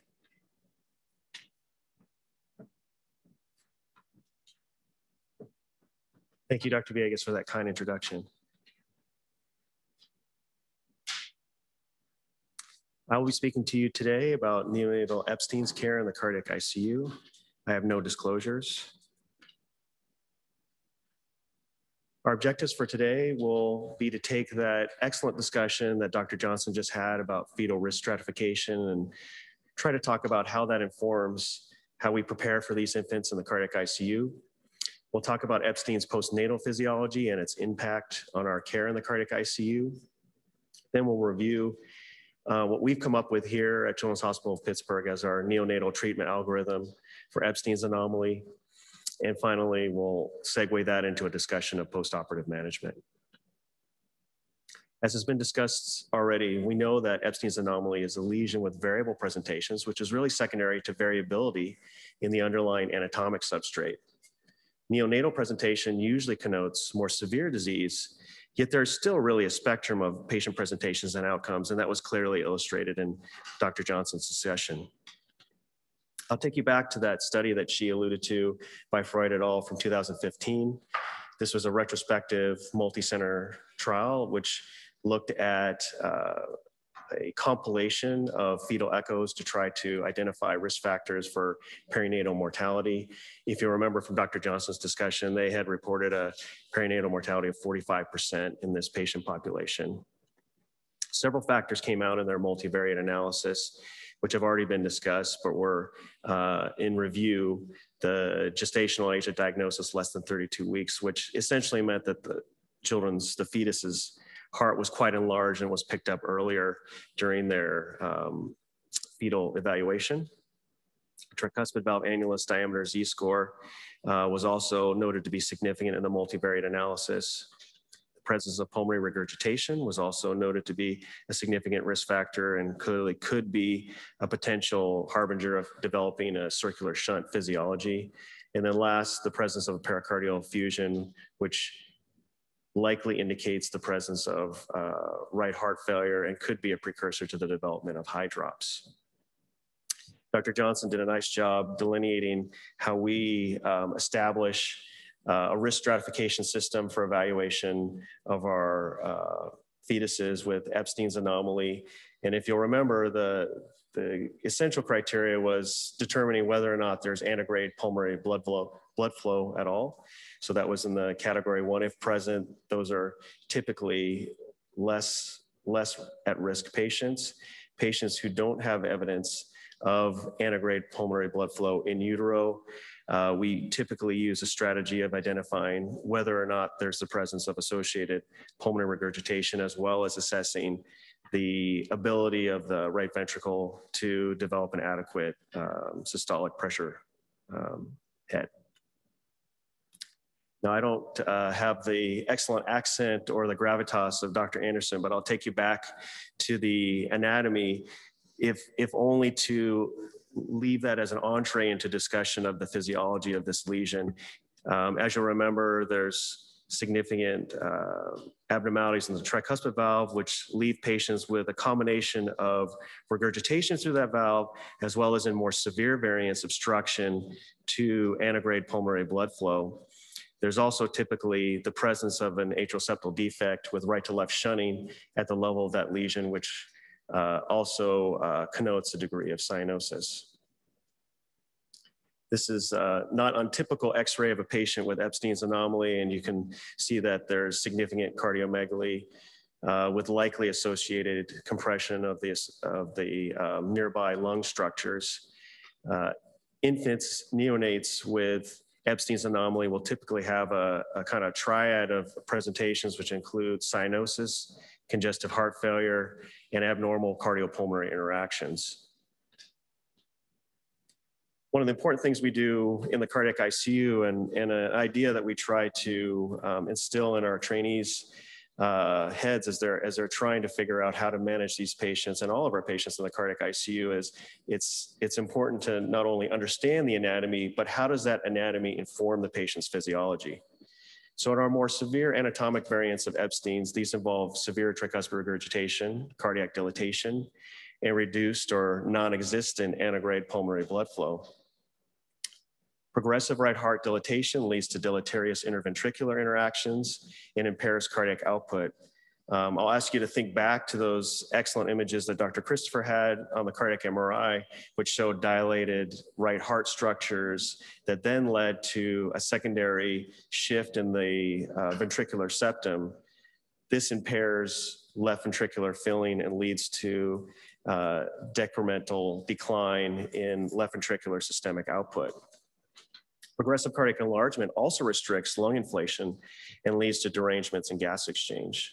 So we have patients with a combination of right heart failure, uh, perhaps some degree of left ventricular dysfunction secondary to poor interventricular interactions, lung compression, and cyanosis. So what are the guiding principles that we use to lead our management in the cardiac ICU? Our first principle is to ensure that there's pulmonary blood flow. So if possible, we try to encourage antegrade pulmonary blood flow by reducing pulmonary vascular resistance. We support ventricular function, frequently the right ventricle, but that may also include left ventricular support. And we support gas exchange while recognizing the deleterious effects of positive pressure and RV mechanics. Um, if you'll remember back to your physiology classes in medical school, you'll remember that uh, positive pressure ventilation is, is um, salutary for reduction in LV afterload, but does increase RV afterload. This is an algorithm uh, that is from one of the more recent papers from our uh, Da Silva team. And I think it's helpful to kind of illustrate the general principles for how we approach our neonates with Ebstein's anomaly. There will be a subset of patients that are more hemodynamically stable. And really, as Dr. Johnson was alluding to in her discussion, medical management is focused on minimizing pulmonary vascular resistance, encouraging antegrade pulmonary blood flow, and uh, trying to put the patients in a, in a setup where they can be medically managed and defer intervention until they reach an older age, at which we're most likely going to have a very successful cone repair. We also have a subset of patients that are much more complex to manage, which include either functional pulmonary atresia, anatomic pulmonary atresia, or the presence of a circular shunt. We'll go through the details of this management further in the later parts of this discussion. So oxygen and additional pulmonary vasodilator therapy in the form of nitric oxide as needed is used to encourage antegrade pulmonary blood flow we make careful assessments of whether it's actually helpful to maintain patency of the ductus arteriosus. In some situations, clearly, where there is anatomic pulmonary atresia, maintenance of the ductus arteriosus is absolutely necessary to ensure adequate pulmonary blood flow. But in situations in which there is functional pulmonary atresia, allowing ductal closure to occur can allow the, the PA pressures to drop and encourage prograde, prograde flow through the pulmonary valve. Inotropy um, is added in as needed to support ventricular function and frequently positive pressure ventilation, particularly in cases where patients have significant cardiomegaly and lung compression is necessary to support gas exchange. A subpopulation of these patients is going to fall out and fail medical management. And typically this is secondary either to inadequate antegrade pulmonary blood flow and or ductal dependence. And a subset of these patients will also have decompensated congestive heart failure. This is a, a complicated secondary subgroup so this can be ranging anywhere from patients who have very severe, uh, in essence, cardiogenic shock in in the setting of having a circular shunt to patients who have struggled with right heart failure secondary to their severe TR and uh, for the most part can be medically managed but are not growing and have evidence of failure to thrive. No discussion of Ebstein's would be um, comprehensive without discussing arrhythmias. Dr. Arora already had an excellent discussion of this. I only include um, touching on this topic to say that the presence of atrial arrhythmias, particularly in the higher risk subgroup of patients that already have uh, tenuous circulations can be uh, very dangerous and, and, can have devastating consequences. Dr. Johnson in her discussion alluded to a patient that we had who had significant atrial tachycardia and required emergent uh, intervention with ECMO to stabilize that patient before further intervention. In our experience, we found the ventricular arrhythmias to be possible, but much more likely to be present in older patients. I'll take you back to that diagram. This is from a paper by Wald et al. that discussed uh, management of patients with circular shunt physiology. The main take home point from, from this patient population is that essentially blood flow is continuously, for the most part, recirculated through the pulmonary vascular bed, and there is significant systemic steal, which uh, uh, essentially leads to a low cardiac output state. In particular, you can see as you work through your work your way through the diagram, the diagram that there's left to right flow through the duct into the pulmonary vascular bed, then further retrograde flow through PR into the right ventricle. TR brings that flow back into the right atrium. Through a right to left shunt, it goes across the ASD out into the left ventricle, back out the aorta, but not primarily into the systemic circulation and just goes through the duct back into the pulmonary vascular bed. You are quite limited from a medical standpoint in managing it. Your primary interventions would be to try to restrict ductal flow, either through discontinuation of prostaglandin or through more active means such as introduction of indomethacin. And there's clearly some papers um, which we haven't talked about in this discussion, uh, which have uh, raised the concept of trying to introduce the use of indomethacin during fetal life to try to restrict the duct and reduce the degree of pulmonary regurgitation.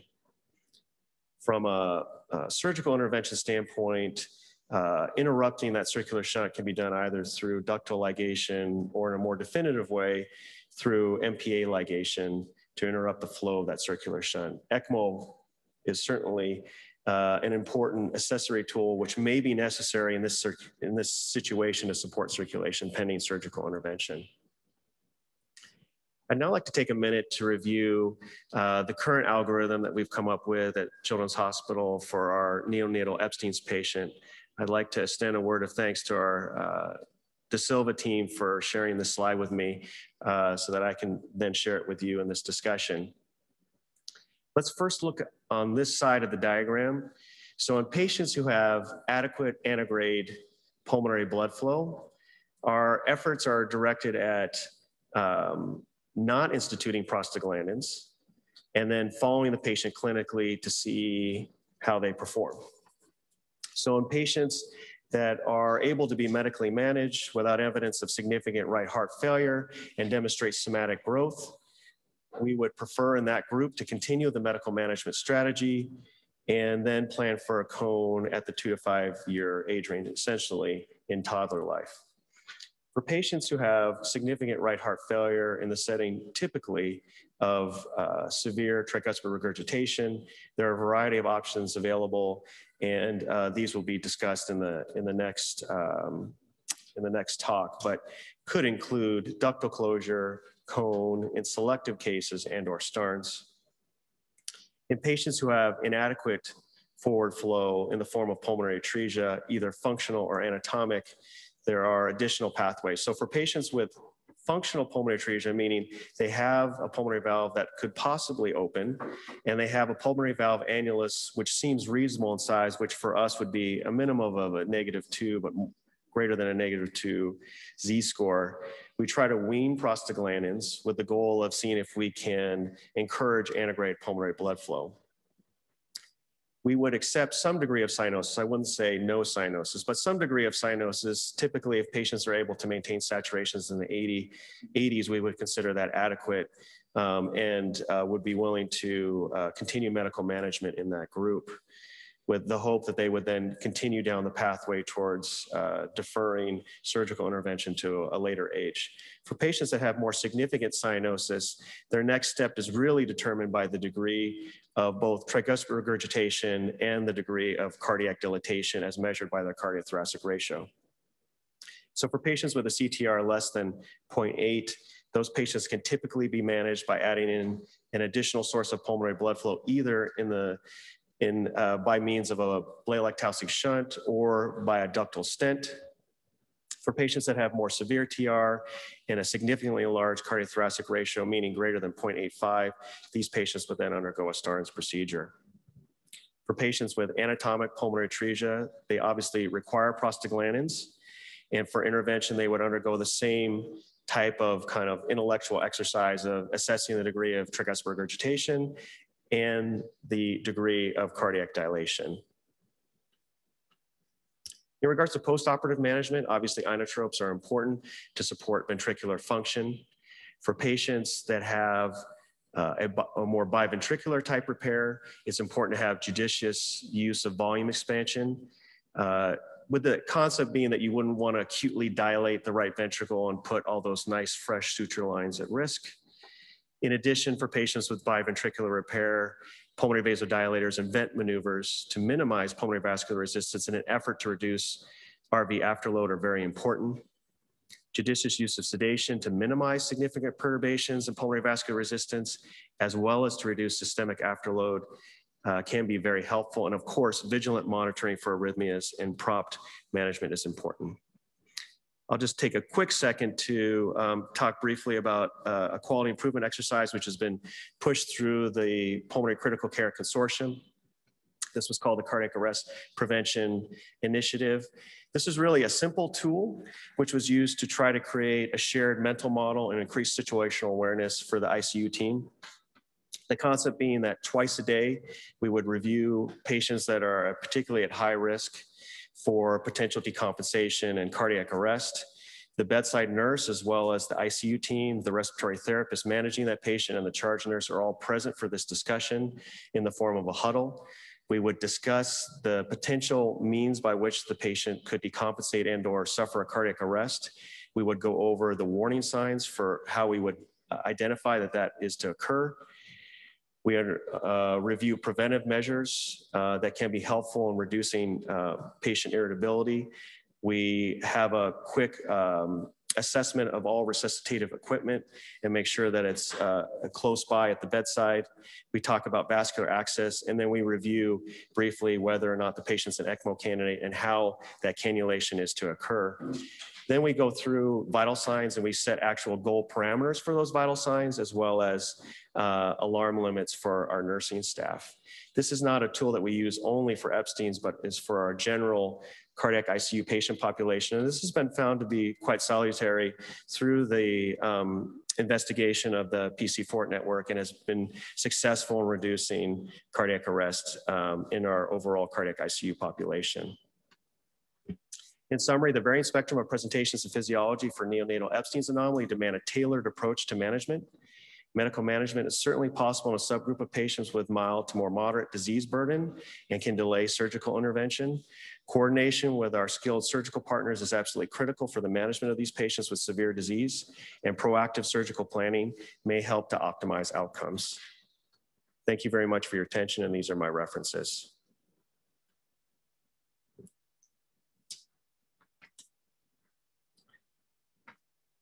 It is now my pleasure to introduce our next speaker, Dr. Luciana da Fonseca da Silva, who is a clinical assistant professor here at the University of Pittsburgh School of Medicine in the Department of Cardiothoracic Surgery. She is one of our absolutely excellent pediatric cardiothoracic surgeons here at Children's Hospital Pittsburgh. And her topic of discussion is going to be surgical treatment in neonatal Ebstein's, what is new?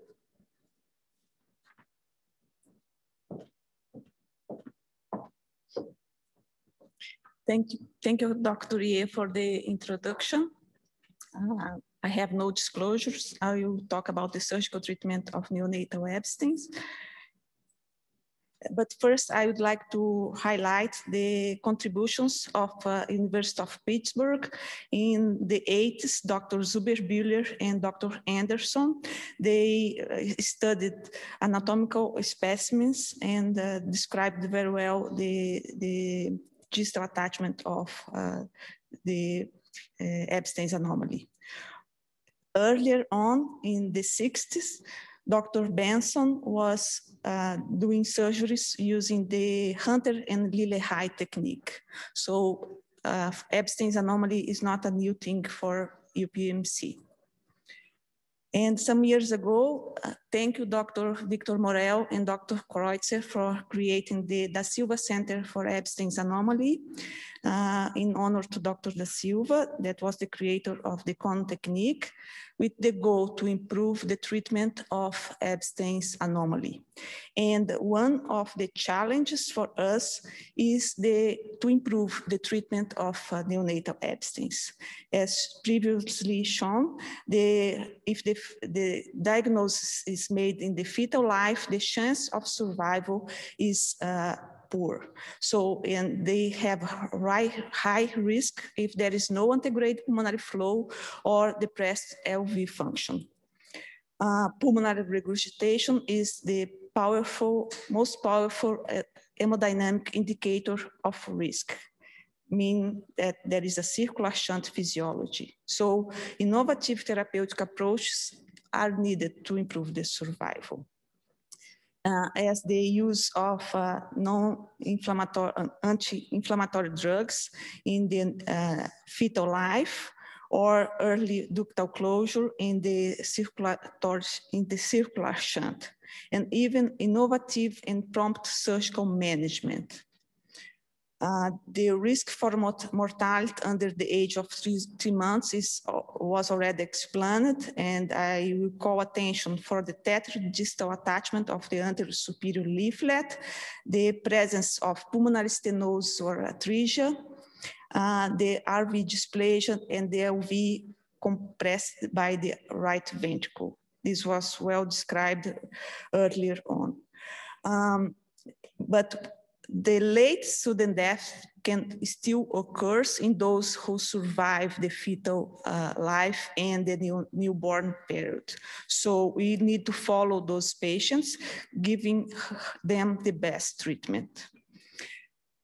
The surgical results in this uh, population is still not good.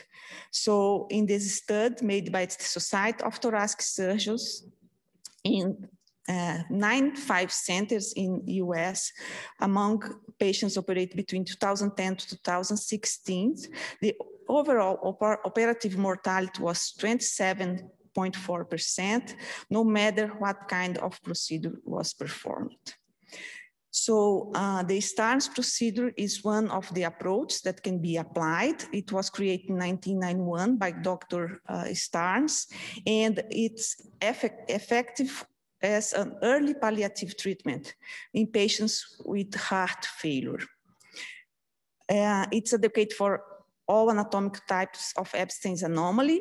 And we do in the Starnes procedure the exclusion of the left ventricle with a patch uh, with uh, orifice uh, in the middle to exclude the tricuspid valve and the right vent ventricle. So this immediately decompress the left ventricle. The midterm survival in his experience was 81% at 10 years by committing the patients to single ventricle pathway. So what we changed here at UPMC, uh, Dr. Da Silva did a, a, a cone after the Starnes procedure. So changing the univentricular heart to a biventricular heart.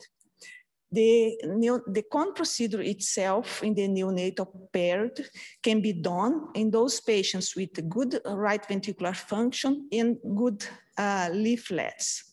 I mean, uh, good uh, focal attachment and uh, not very rotated to the RVOT.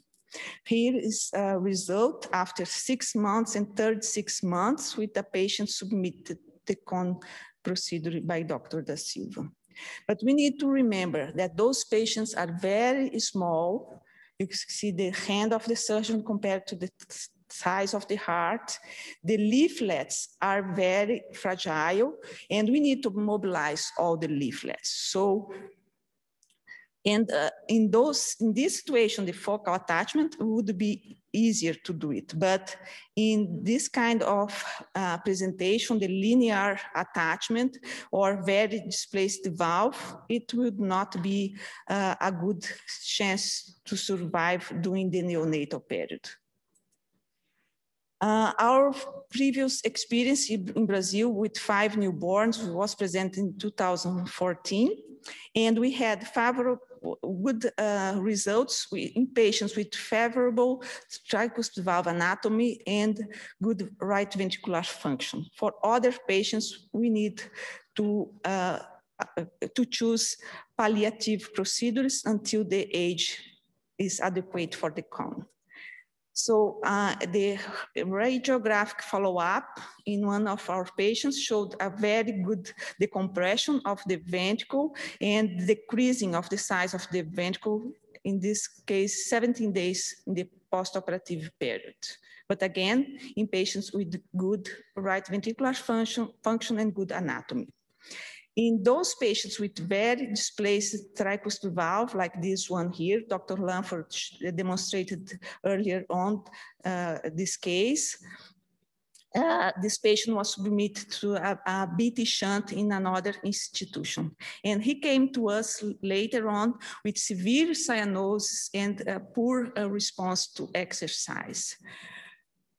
Uh, we then in the surgical procedure, what we found was a very uh, displaced tricuspid valve. It was almost impossible to detach the, the leaflets from the, the ventricle. It, it was very, very muscularized and we could see even the fat in the outside of the ventricle.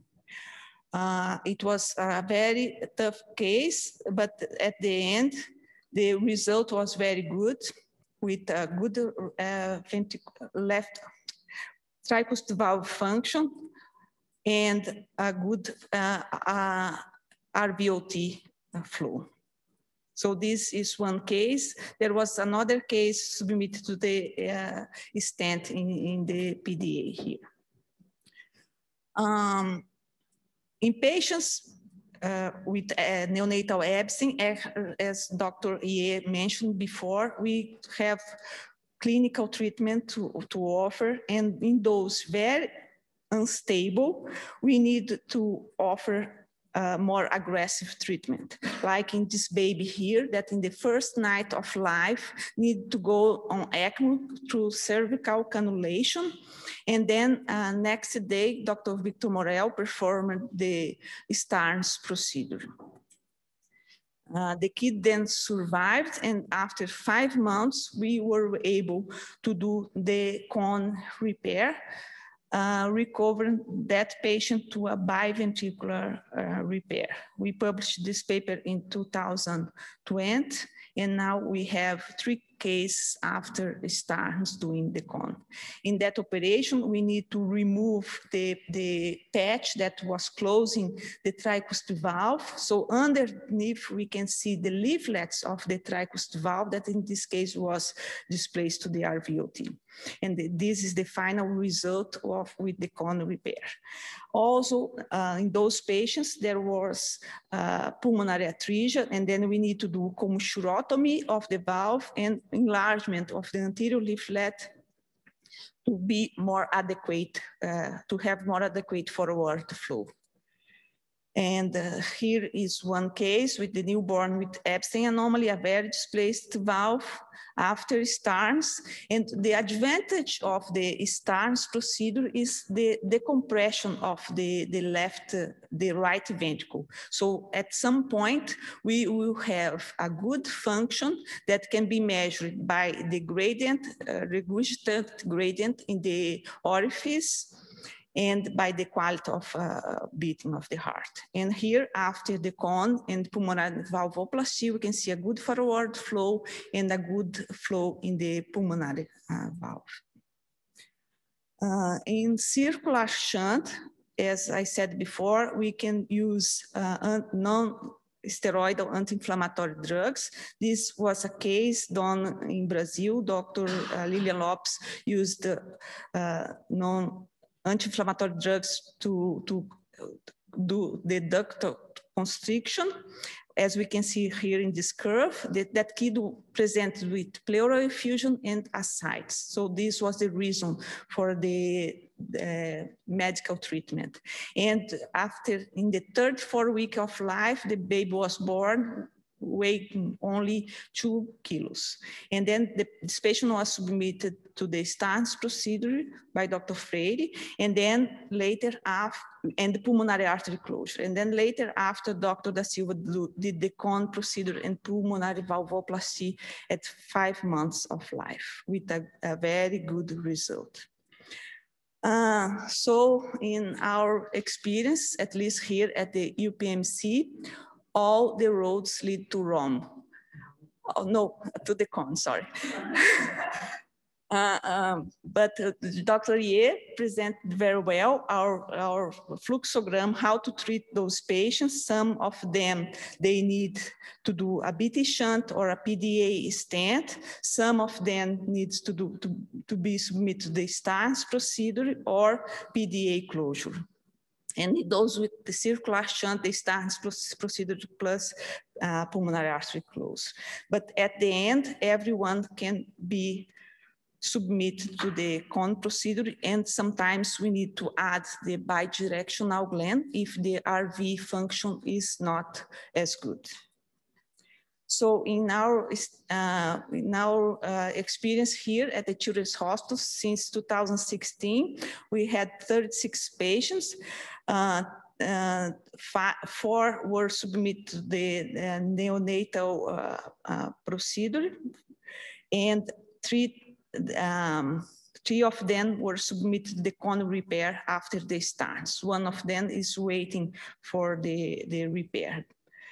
Uh, the neonatal neonatal cone repair was done in two patients and call attention that some of the, those newborns were very sick and three on ECMO before the cone or the Starnes procedure.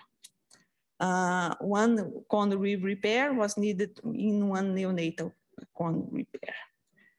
And uh, the cone repair in adults or uh, later on life, we have done in, in third patients and three after BT shunt.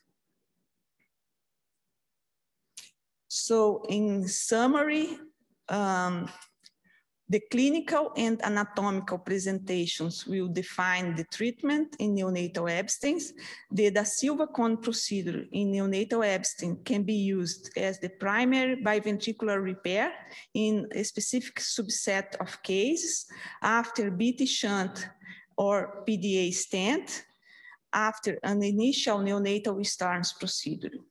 For critical newborns with the Ebstein's anomaly, the staged approach with the Starnes procedure followed by the cone procedure is favored over primary to, to ventricular repair. As I said before, this was an innovation of uh, uh, Dr. Da Silva done here at Pittsburgh and uh, with the cone after the Starnes. And a prompt medical attention with ECMO and early intervention is advisable in critical neonatal Ebstein. And this is very well done for our uh, multi, uh, multi uh, professional team. Thank you so much.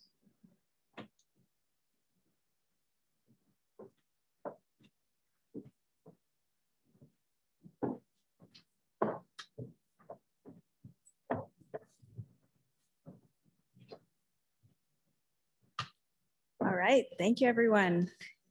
Back to our discussion. So we'll start off with Dr. Ye. First question is, what is the management strategy in neonatal Ebstein's with functional pulmonary atresia?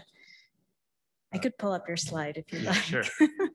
That's a good question. So with functional pulmonary atresia, the goal is to try to see if we can uh, actually let the duct close, encourage antegrade pulmonary blood flow. We do that by uh, trying to decrease PVR. So uh, giving supplemental oxygen in some cases, nitric oxide as well, and then supporting right ventricular function.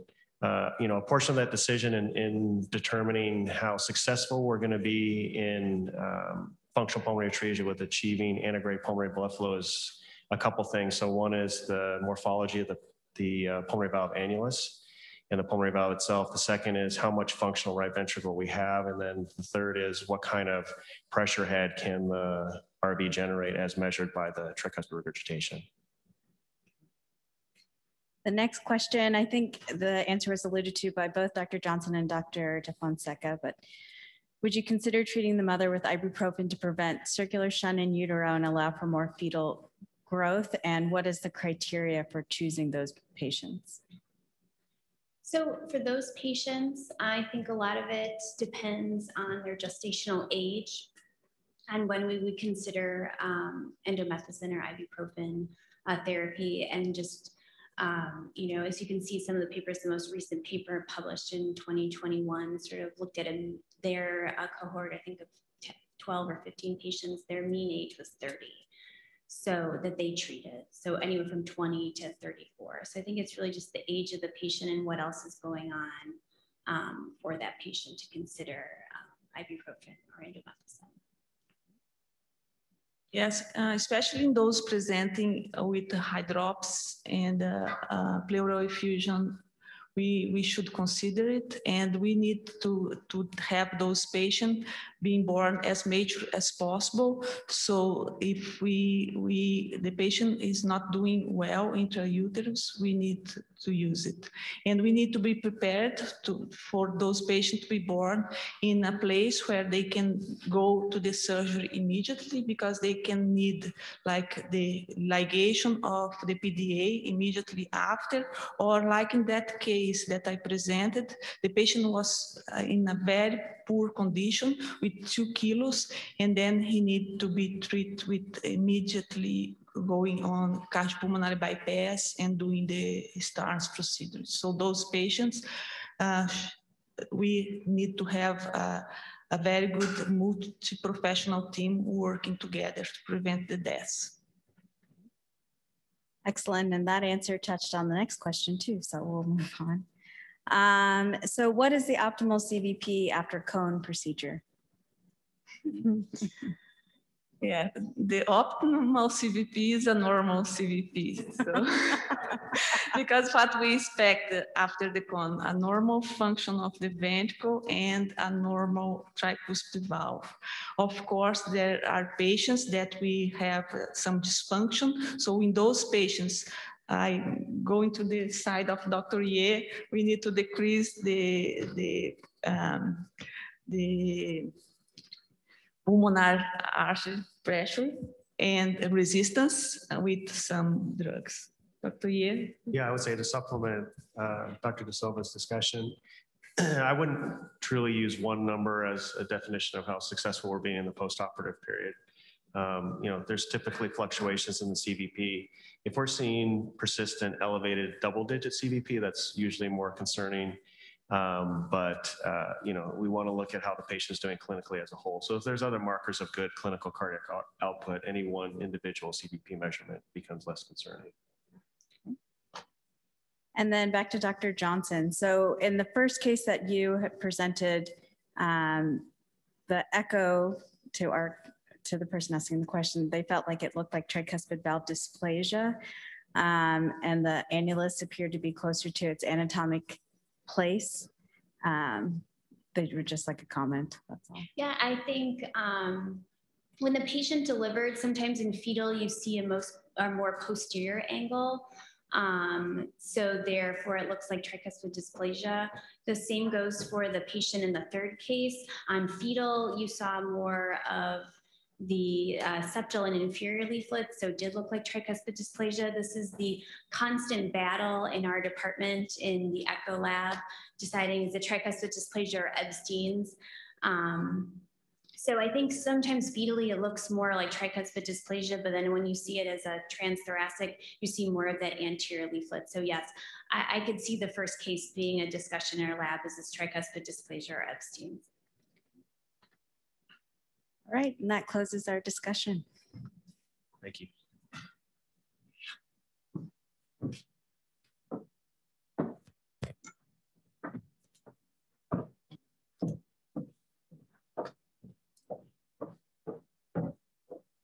All right, our next family video is um, the Jocelyn and Megan Troglin family. And I first met um, Jocelyn and Megan when I was pre-upping Jocelyn for her cone procedure. And mom mentioned to me that they would be back in six months for her to have her cone procedure. So this is a little video that outlines their journey um, as a mom and daughter having their cone here in Pittsburgh.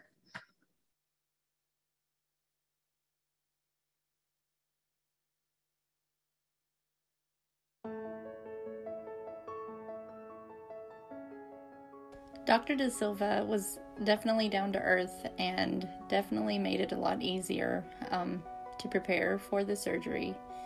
You know, we had so many questions and he was able to answer all of them, and he felt confident that the surgeries would go well. I will never forget walking down the hallway carrying Jocelyn to lay her down on the operating table. Uh, me and the nurses started singing Girl on Fire to her, which was her favorite song as the anesthesia was administered and her eyes rolled into the back of her head. It was a very scary three hours waiting um, in the waiting room for the nurses to come and tell us all of the updates. Not knowing if she was going to survive. Um, you know, just praying a lot, being with my family, and hoping everything went smoothly. When Dr. Da Silva walked through the double doors to the waiting room after her surgery, I couldn't breathe. It was such a surreal moment, you know, just waiting. When he came up to me, he had the biggest smile on his face. He told me that everything went perfectly, that she's a fighter, and that her heart was stabilized. The cone procedure took, and she was doing okay. I will never, ever forget that moment. Three days after Jocelyn's surgery, she actually did a cartwheel um, after she was taken off all of her IVs in her room. She was so excited we had to calm her down so she didn't hurt herself. Three months later, I followed in Jocelyn's footsteps to have my surgery done. After going through the experience with Jocelyn and Dr. Da Silva, I was confident that everything was going to go smoothly recovery was a little bit more difficult than Jocelyn's. I think, you know, her being younger, everything was a little bit easier for her, and kids bounce right back. Um, it was a little bit of a progress for me, but after cardiac rehab and just getting to fully embrace my heart, I was able to drop a lot of weight, you know, walk down a hallway without being out of breath, things I had never done before. I will forever be indebted to the team at UPMC, to Glenda for helping us along the way, to the nurses who took care of us, and to Dr. Da Silva for giving us a new lease on life. Hi, I'm Jocelyn and I'm five years old and I love unicorns and also I love my mom. What are some things you like to do? Well, I, I like to paint and I also like to draw. And what did Dr. Da Silva do for you? He um did heart surgery. Well, what did mean you have in common? It's stings and nobody. That's right.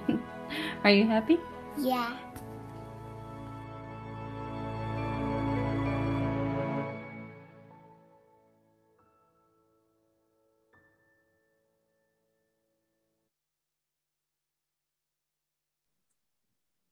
All right, uh, we're down to our uh, last presenter before we have a final discussion with uh, Jose Pedro.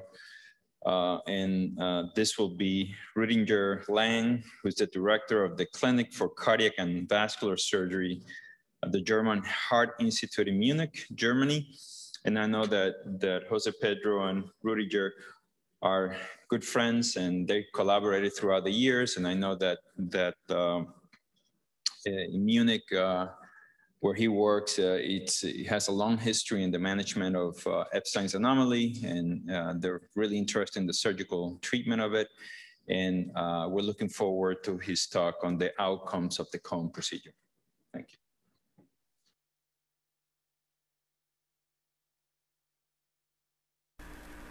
Dear colleagues, ladies and gentlemen, thank you for the invitation and for the privilege to present our Da Silva cone procedure data from the German Heart Center in Munich at this wonderful meeting. In the last 40 years, there have been different surgeries for Ebstein malformation at the German Heart Center Munich. Altogether, we up to 2016, we had 195 cases and 88% of those cases received a repair. There were different repair techniques like uh, the Hardiplasty, monocusp valve, other repair techniques, and only recently the cone procedure. We even developed uh, our own technique, the Sebening stitch. Professor Sebening, my predecessor at the German Heart Center, developed this technique in, in the 1970s. And it was basically a technique to create a monocusp valve out of the Ebstein malformation by pulling the anterior leaflet towards the native valve ring. And this is shown in this historical video. Here you see the posterior leaflet, multiple tethering. There's a gap in the posterior leaflet, a gap between the anterior and the posterior leaflet, which is closed here, another perforation in the posterior leaflet. So all the gaps and perforations were closed to create one single plane as the new monocusp leaflet. And then after this plane had been created, the papillary muscle of the anterior leaflet was identified, a plagiatus suture was attached, and the monocusp leaflet was uh, pulled down to the to the septum of uh, the right ventricle, and then uh, plagiated plasty was used to reduce the ring. Now, as you all know, the results of these, all these techniques were never sufficient. Here we looked at the 25 years of different repair techniques, excluding the cone technique, and it shows very nicely that at 25 years, 73% of the patients had developed more than moderate TI, 51% even more than severe TI, and the rate of reoperations after 25 years with different repair techniques was 43%. So we had the great privilege to be invited by Professor Da Silva and his wonderful wife Luciana Fonseca to Sao Paulo in September 2009. I was accompanied by my dear colleague, Professor Christian Schreiber, who unfortunately deceased. And we both wanted to learn this technique and we received the first steps uh, in Sao Paulo. After this, uh, Professor Da Silva and Luciana came to Germany several times and we did the first operations together and developed the technique for our center. It took me some time to understand why the cone procedure was the preferred technique for the Ebstein malformation. If you look at this three-dimensional model of the uh, right ventricle, you see this inward displacement of the posterior leaflet and the septal leaflet deep down into the the right ventricle towards the apex of the right ventricle. So if you want to repair this valve with all three leaflets, anterior, posterior, and septal, you cannot do it in a plain fashion like the other valves, but you have to create something that goes into the ventricle like a cone. This is an example of surgery at the German Heart Center of a severe Ebstein disease. As you see here, the posterior leaflet, multiple tethering, the displacement of the, the annulus into the ventricle, the attached septal leaflet, and here the anterior leaflet, which is usually uh, free for repair. So we developed our own procedure in so far that we follow always the same steps. We cut at the anterior leaflet first, then it's followed by dissection of the septal leaflet and then dissection of the posterior leaflet all the way down as far as possible into the right ventricle. After this, here you see leaflet, septal and posterior and anterior. And after this, we do uh, the, the ugliest part of the procedure. I call it the ugliest part because you always, during this plication procedure, you're always afraid that you might hit the right coronary artery. Fortunately, it hasn't happened to us yet, but uh, you're, you're always concerned that it might happen. And here, the creation of the cone starts. The septal leaflet and the anterior leaflet are connected by uh, a running suture and what is extremely important for this operation is that all the leaflets are without any tension. If there is only a little bit of tension, one detachment that hasn't been loosened, then the cone cannot work. And here you see then the attachment of the leaflets to the valve ring. The valve ring has been longitudinally plicated before. Now there are some more single plications on the ring to make it fit for the leaflets and then the leaflets are attached to the valve ring. And you see the locked continuous sutures and here it's uh, the water test and shows the competent valve which is also shown on the beating heart on echocardiography. You see the cone very nicely uh, compressing and without any insufficiency. Now we looked at several aspects of the cone procedure in our experience. We looked at the cone, how it compared to conventional repair for Ebstein anomaly. As you saw already before, here the incidence of moderate, more than moderate TR for other repair techniques compared to the cone operation. Of course, we have to admit that the median follow-up for the cone procedure in this publication was only 3.7 years. The longest was about seven and a half to eight years. But still it shows you that at least in the midterm, you have excellent results and almost no residual tricuspid regurgitation with the cone procedure compared to other repair techniques. And the comparison was highly significant.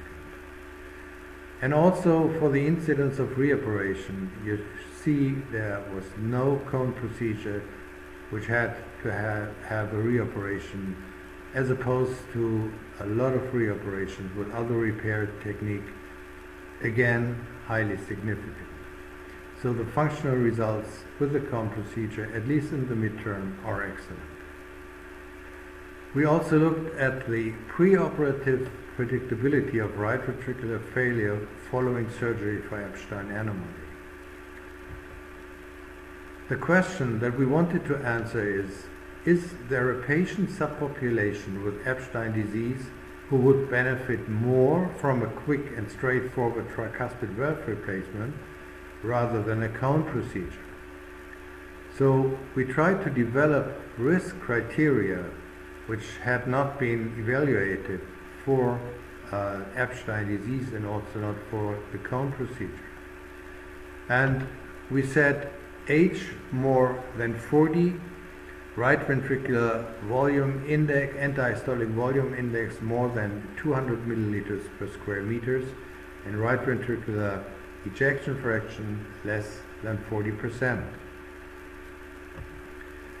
So we looked at 68 patients, 40 patients with at least one risk factor, 24 patients with age more than 40 years, 16 patients with decreased right ventricular ejection fraction of less than 40, and 18 patients with right ventricular end-diastolic volume index of more than 200. And this shows you the distribution of those 40 patients in the different risk groups. And in the center, you see three patients who had all three risk factors. And if you look at mortality, all three patients who had all three risk factors died. So age, decreased right ventricular function, and a large dilated right ventricle has to be considered and are considered to be preoperative warning signs for complicated postoperative course. So before planning to do a cone procedure, these risk factors should be evaluated and eventually uh, the procedure should be switched to a, a quick valve replacement. And then we also looked at cone repair for Ebstein's anomaly and its effect on right ventricular size and function. This was an MRI study we did early after our initial experience.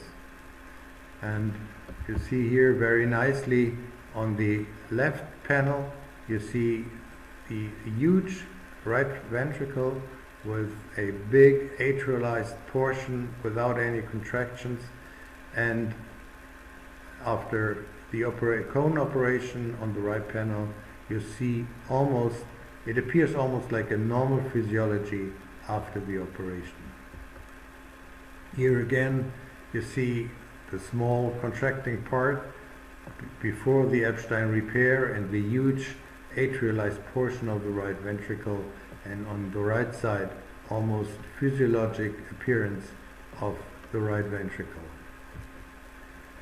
So of course we found that the right ventricular ejection fraction decreased after cone and after the plication. Now why? Because the regurgitant volume was not there anymore uh, because the valve was competent and also the, because the ventricle became had become smaller. But the good news was that not only the right ventricle becomes smaller, but that it also provides more forward flow. On the left panel you see the end-diastolic volume of the right ventricle which decreased considerably and significantly and on the right panel you see the antegrade net stroke volume index which increased in almost all patients, highly significant uh, at 0.035. So what have we learned from our experience of the cone procedure?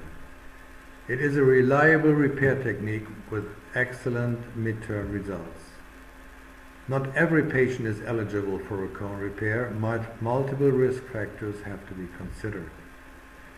Early MRT studies show uh, uh, an improvement of right ventricular function. However, the quality of life improvement and the survival benefit, they both are yet to be shown for this procedure. So to have to gain more experience and to gather patients from all over Germany and also from Europe, we founded the Ebstein Centrum at the German Heart Center three years ago. And this was a big success because we now have a sufficient caseload for the whole team to be always in practice.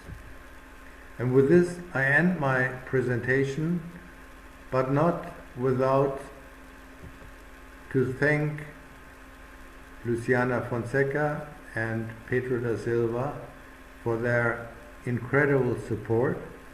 Here you see the two with me during one of the visits in Munich. We have our little kids on our shoulders.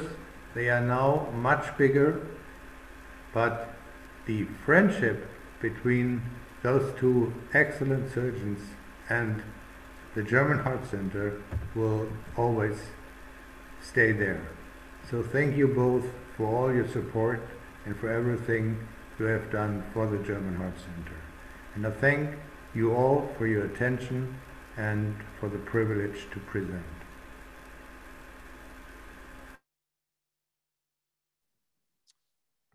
Well, that was a wonderful presentation and, and uh, obviously describing the benefits of the cone and, and their uh, obviously uh, physiological changes associated with the cone that lead to a better outcome and they're measurable. So it's a terrific uh, procedure.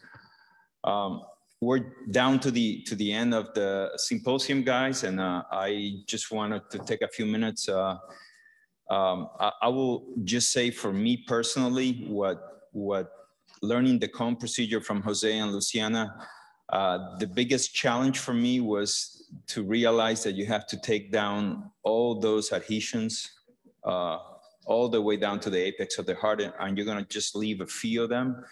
Uh, that seemed a little scary for me at the beginning. And uh, after uh, having the master uh, next to me telling me, go ahead, do it, uh, realize that this is really the only way it works. And, and I think Dr. Lange made a good point. You, there can't be any attachments left for the cone to work well. And, and this is something that, that I think we all, there's, a, there's clearly a learning curve to it, but, but it's quite doable. And uh, Jose, do you, do you, want to comment on, on maybe, the, I'm sure that there's many people in the audience who've uh, never done it or, uh, and, and what would you suggest would be the, the key components of, of, of, for a surgeon out there to, to do this procedure? I think you just delineate it. Um, first, you have, uh, of course, to analyze the anatomy and to know what you have to do because depending on anatomy, you have to do different maneuvers. But at the end, you have to mobilize uh, all the leaflets and uh, extensively. And then um, sometimes you have to rotate tissues uh, to, to, make to get the height of the the, the, the all leaflet, all the cone areas. And sometimes maybe you need to add some tissue from outside. This has been rare in my experience, but I think can be very helpful if you are uh, at the beginning, you don't have much experience doing it. Uh, so basically it's that, to, to, because it's not mobile. For example, if you leave something attached to the anterior wall and to the anterior leaflet that is, is not uh, deep enough, that's not near the apex. Then when the, you fill up the right ventricle, it's kind of pull the, the leaflet uh, laterally. And this creates a great tension in the suture of the cone and it can rupture. And this happened to me. I have to take the patient immediately to the OR. And that was the cause. I didn't take down the leaflet uh, uh, sufficiently to, to do the cone you know, another another uh, sort of a aha moment that I had in the operating room with you was when we were doing this cone uh, on a patient and uh, the septal leaflet was just a little sliver of tissue that was very apically displaced. And, and I assumed that there was nothing to do with it. We're just gonna let it sit there and there's nothing to do with it and you said dissect, dissect it, and we dissected the leaflet. We there was no way we can bring it up, you know. So we we start from the top and mobilize it down, and then we just utilize the septal leaflet, whatever was there, as a papillary muscle. So when we rotated the, the posterior leaflet, we ended up attaching the posterior leaflet at the apex to the septal leaflet, which basically helped anchor that posterior leaflet to the heart. And that septal leaflet just became a papillary muscle or an attachment for the cone to work. So again, there, there are just many little intricacies to this procedure that as you do the operation, uh, uh, you, you kind of learn. Uh, but obviously, you know, I, I sit here and now for those of us who do it, it's a very simple, you know, you go like, okay, so which way I didn't think of this procedure, you know, because it makes sense. As a surgeon, it makes a lot of sense what, why the cone works and how it works. And once you do it, you, you realize, well, this makes a lot of sense. And, and I certainly want to congratulate Jose and, and, and Luciana for all the work they've done um, with uh, this procedure and, and, you know to help manage the Ebstein's anomaly, which in my eyes was sort of a horrific uh, problem to have as a as a patient. And now I can say, you know, it's something that we can solve. Uh, so it's really been transformational uh, what what uh, Jose uh, came up with, and and I certainly want to congratulate you. And I want to give you a couple minutes to say uh, a few things, whatever you might want to tell the, the public and, and all the attendees. Uh. Okay, first of all, I have uh, you, Victor Morell, Jack Kreutzer, and, and our, our group of surgeons, uh, cardiac surgeon, um, like Melita Luciana, uh, Melita Viegas, Luciana da Fonseca, and, and then Mario that was not here, Mario uh, Castro Medina that uh, has been working while we are here. Uh, and he is taking good care of our patient, also did uh, save some patient Ebstein anomaly. Uh, so all the team involved. And also for putting together this uh, meeting, I want to thank to Erin Colvin and Kate Scollon that were essential to to make it work uh, perfectly.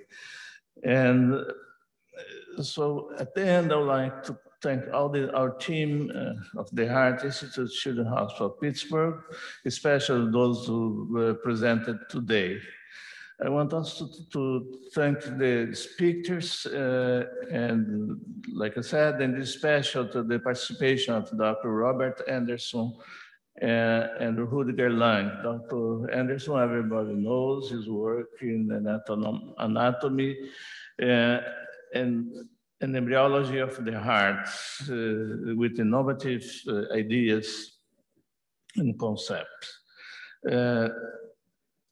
Uh, Dr. Lange, he did his presentation, he showed the important work they have uh, done with the Ebstein anomaly, and uh, he's an important uh, team in Europe.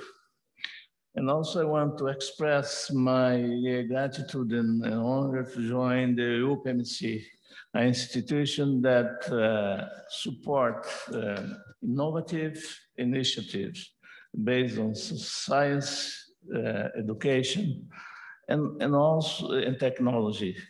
And also be, uh, without uh, losing the focus of a patient-centered medicine that have helped so many patients with many diseases and also help the family of those patients. So thank you. Well, uh, it's been a real pleasure, um, and I hope uh, that this proved to be uh, educational for uh, the participants. Uh, I have to say we, we certainly enjoyed this and, and uh, we're already planning on our next, uh, probably about six months down the road and likely it's gonna be related to complex transpositions. So I hope that those in the audience will join in again in the future. We'll let you guys know when, when the webinar will occur. Um, again, I wanna thank uh, everybody um, Angie, Katie, uh, thanks for your support and, and making this happen. And certainly we want to say uh, thanks to James uh, Ferris, who, who's, who's made the AV uh, segment of uh, this meeting work for all of us. Without him, this could not happen, certainly. Uh, and I hope you guys have a great weekend and hopefully we'll see you in about six months. Take care.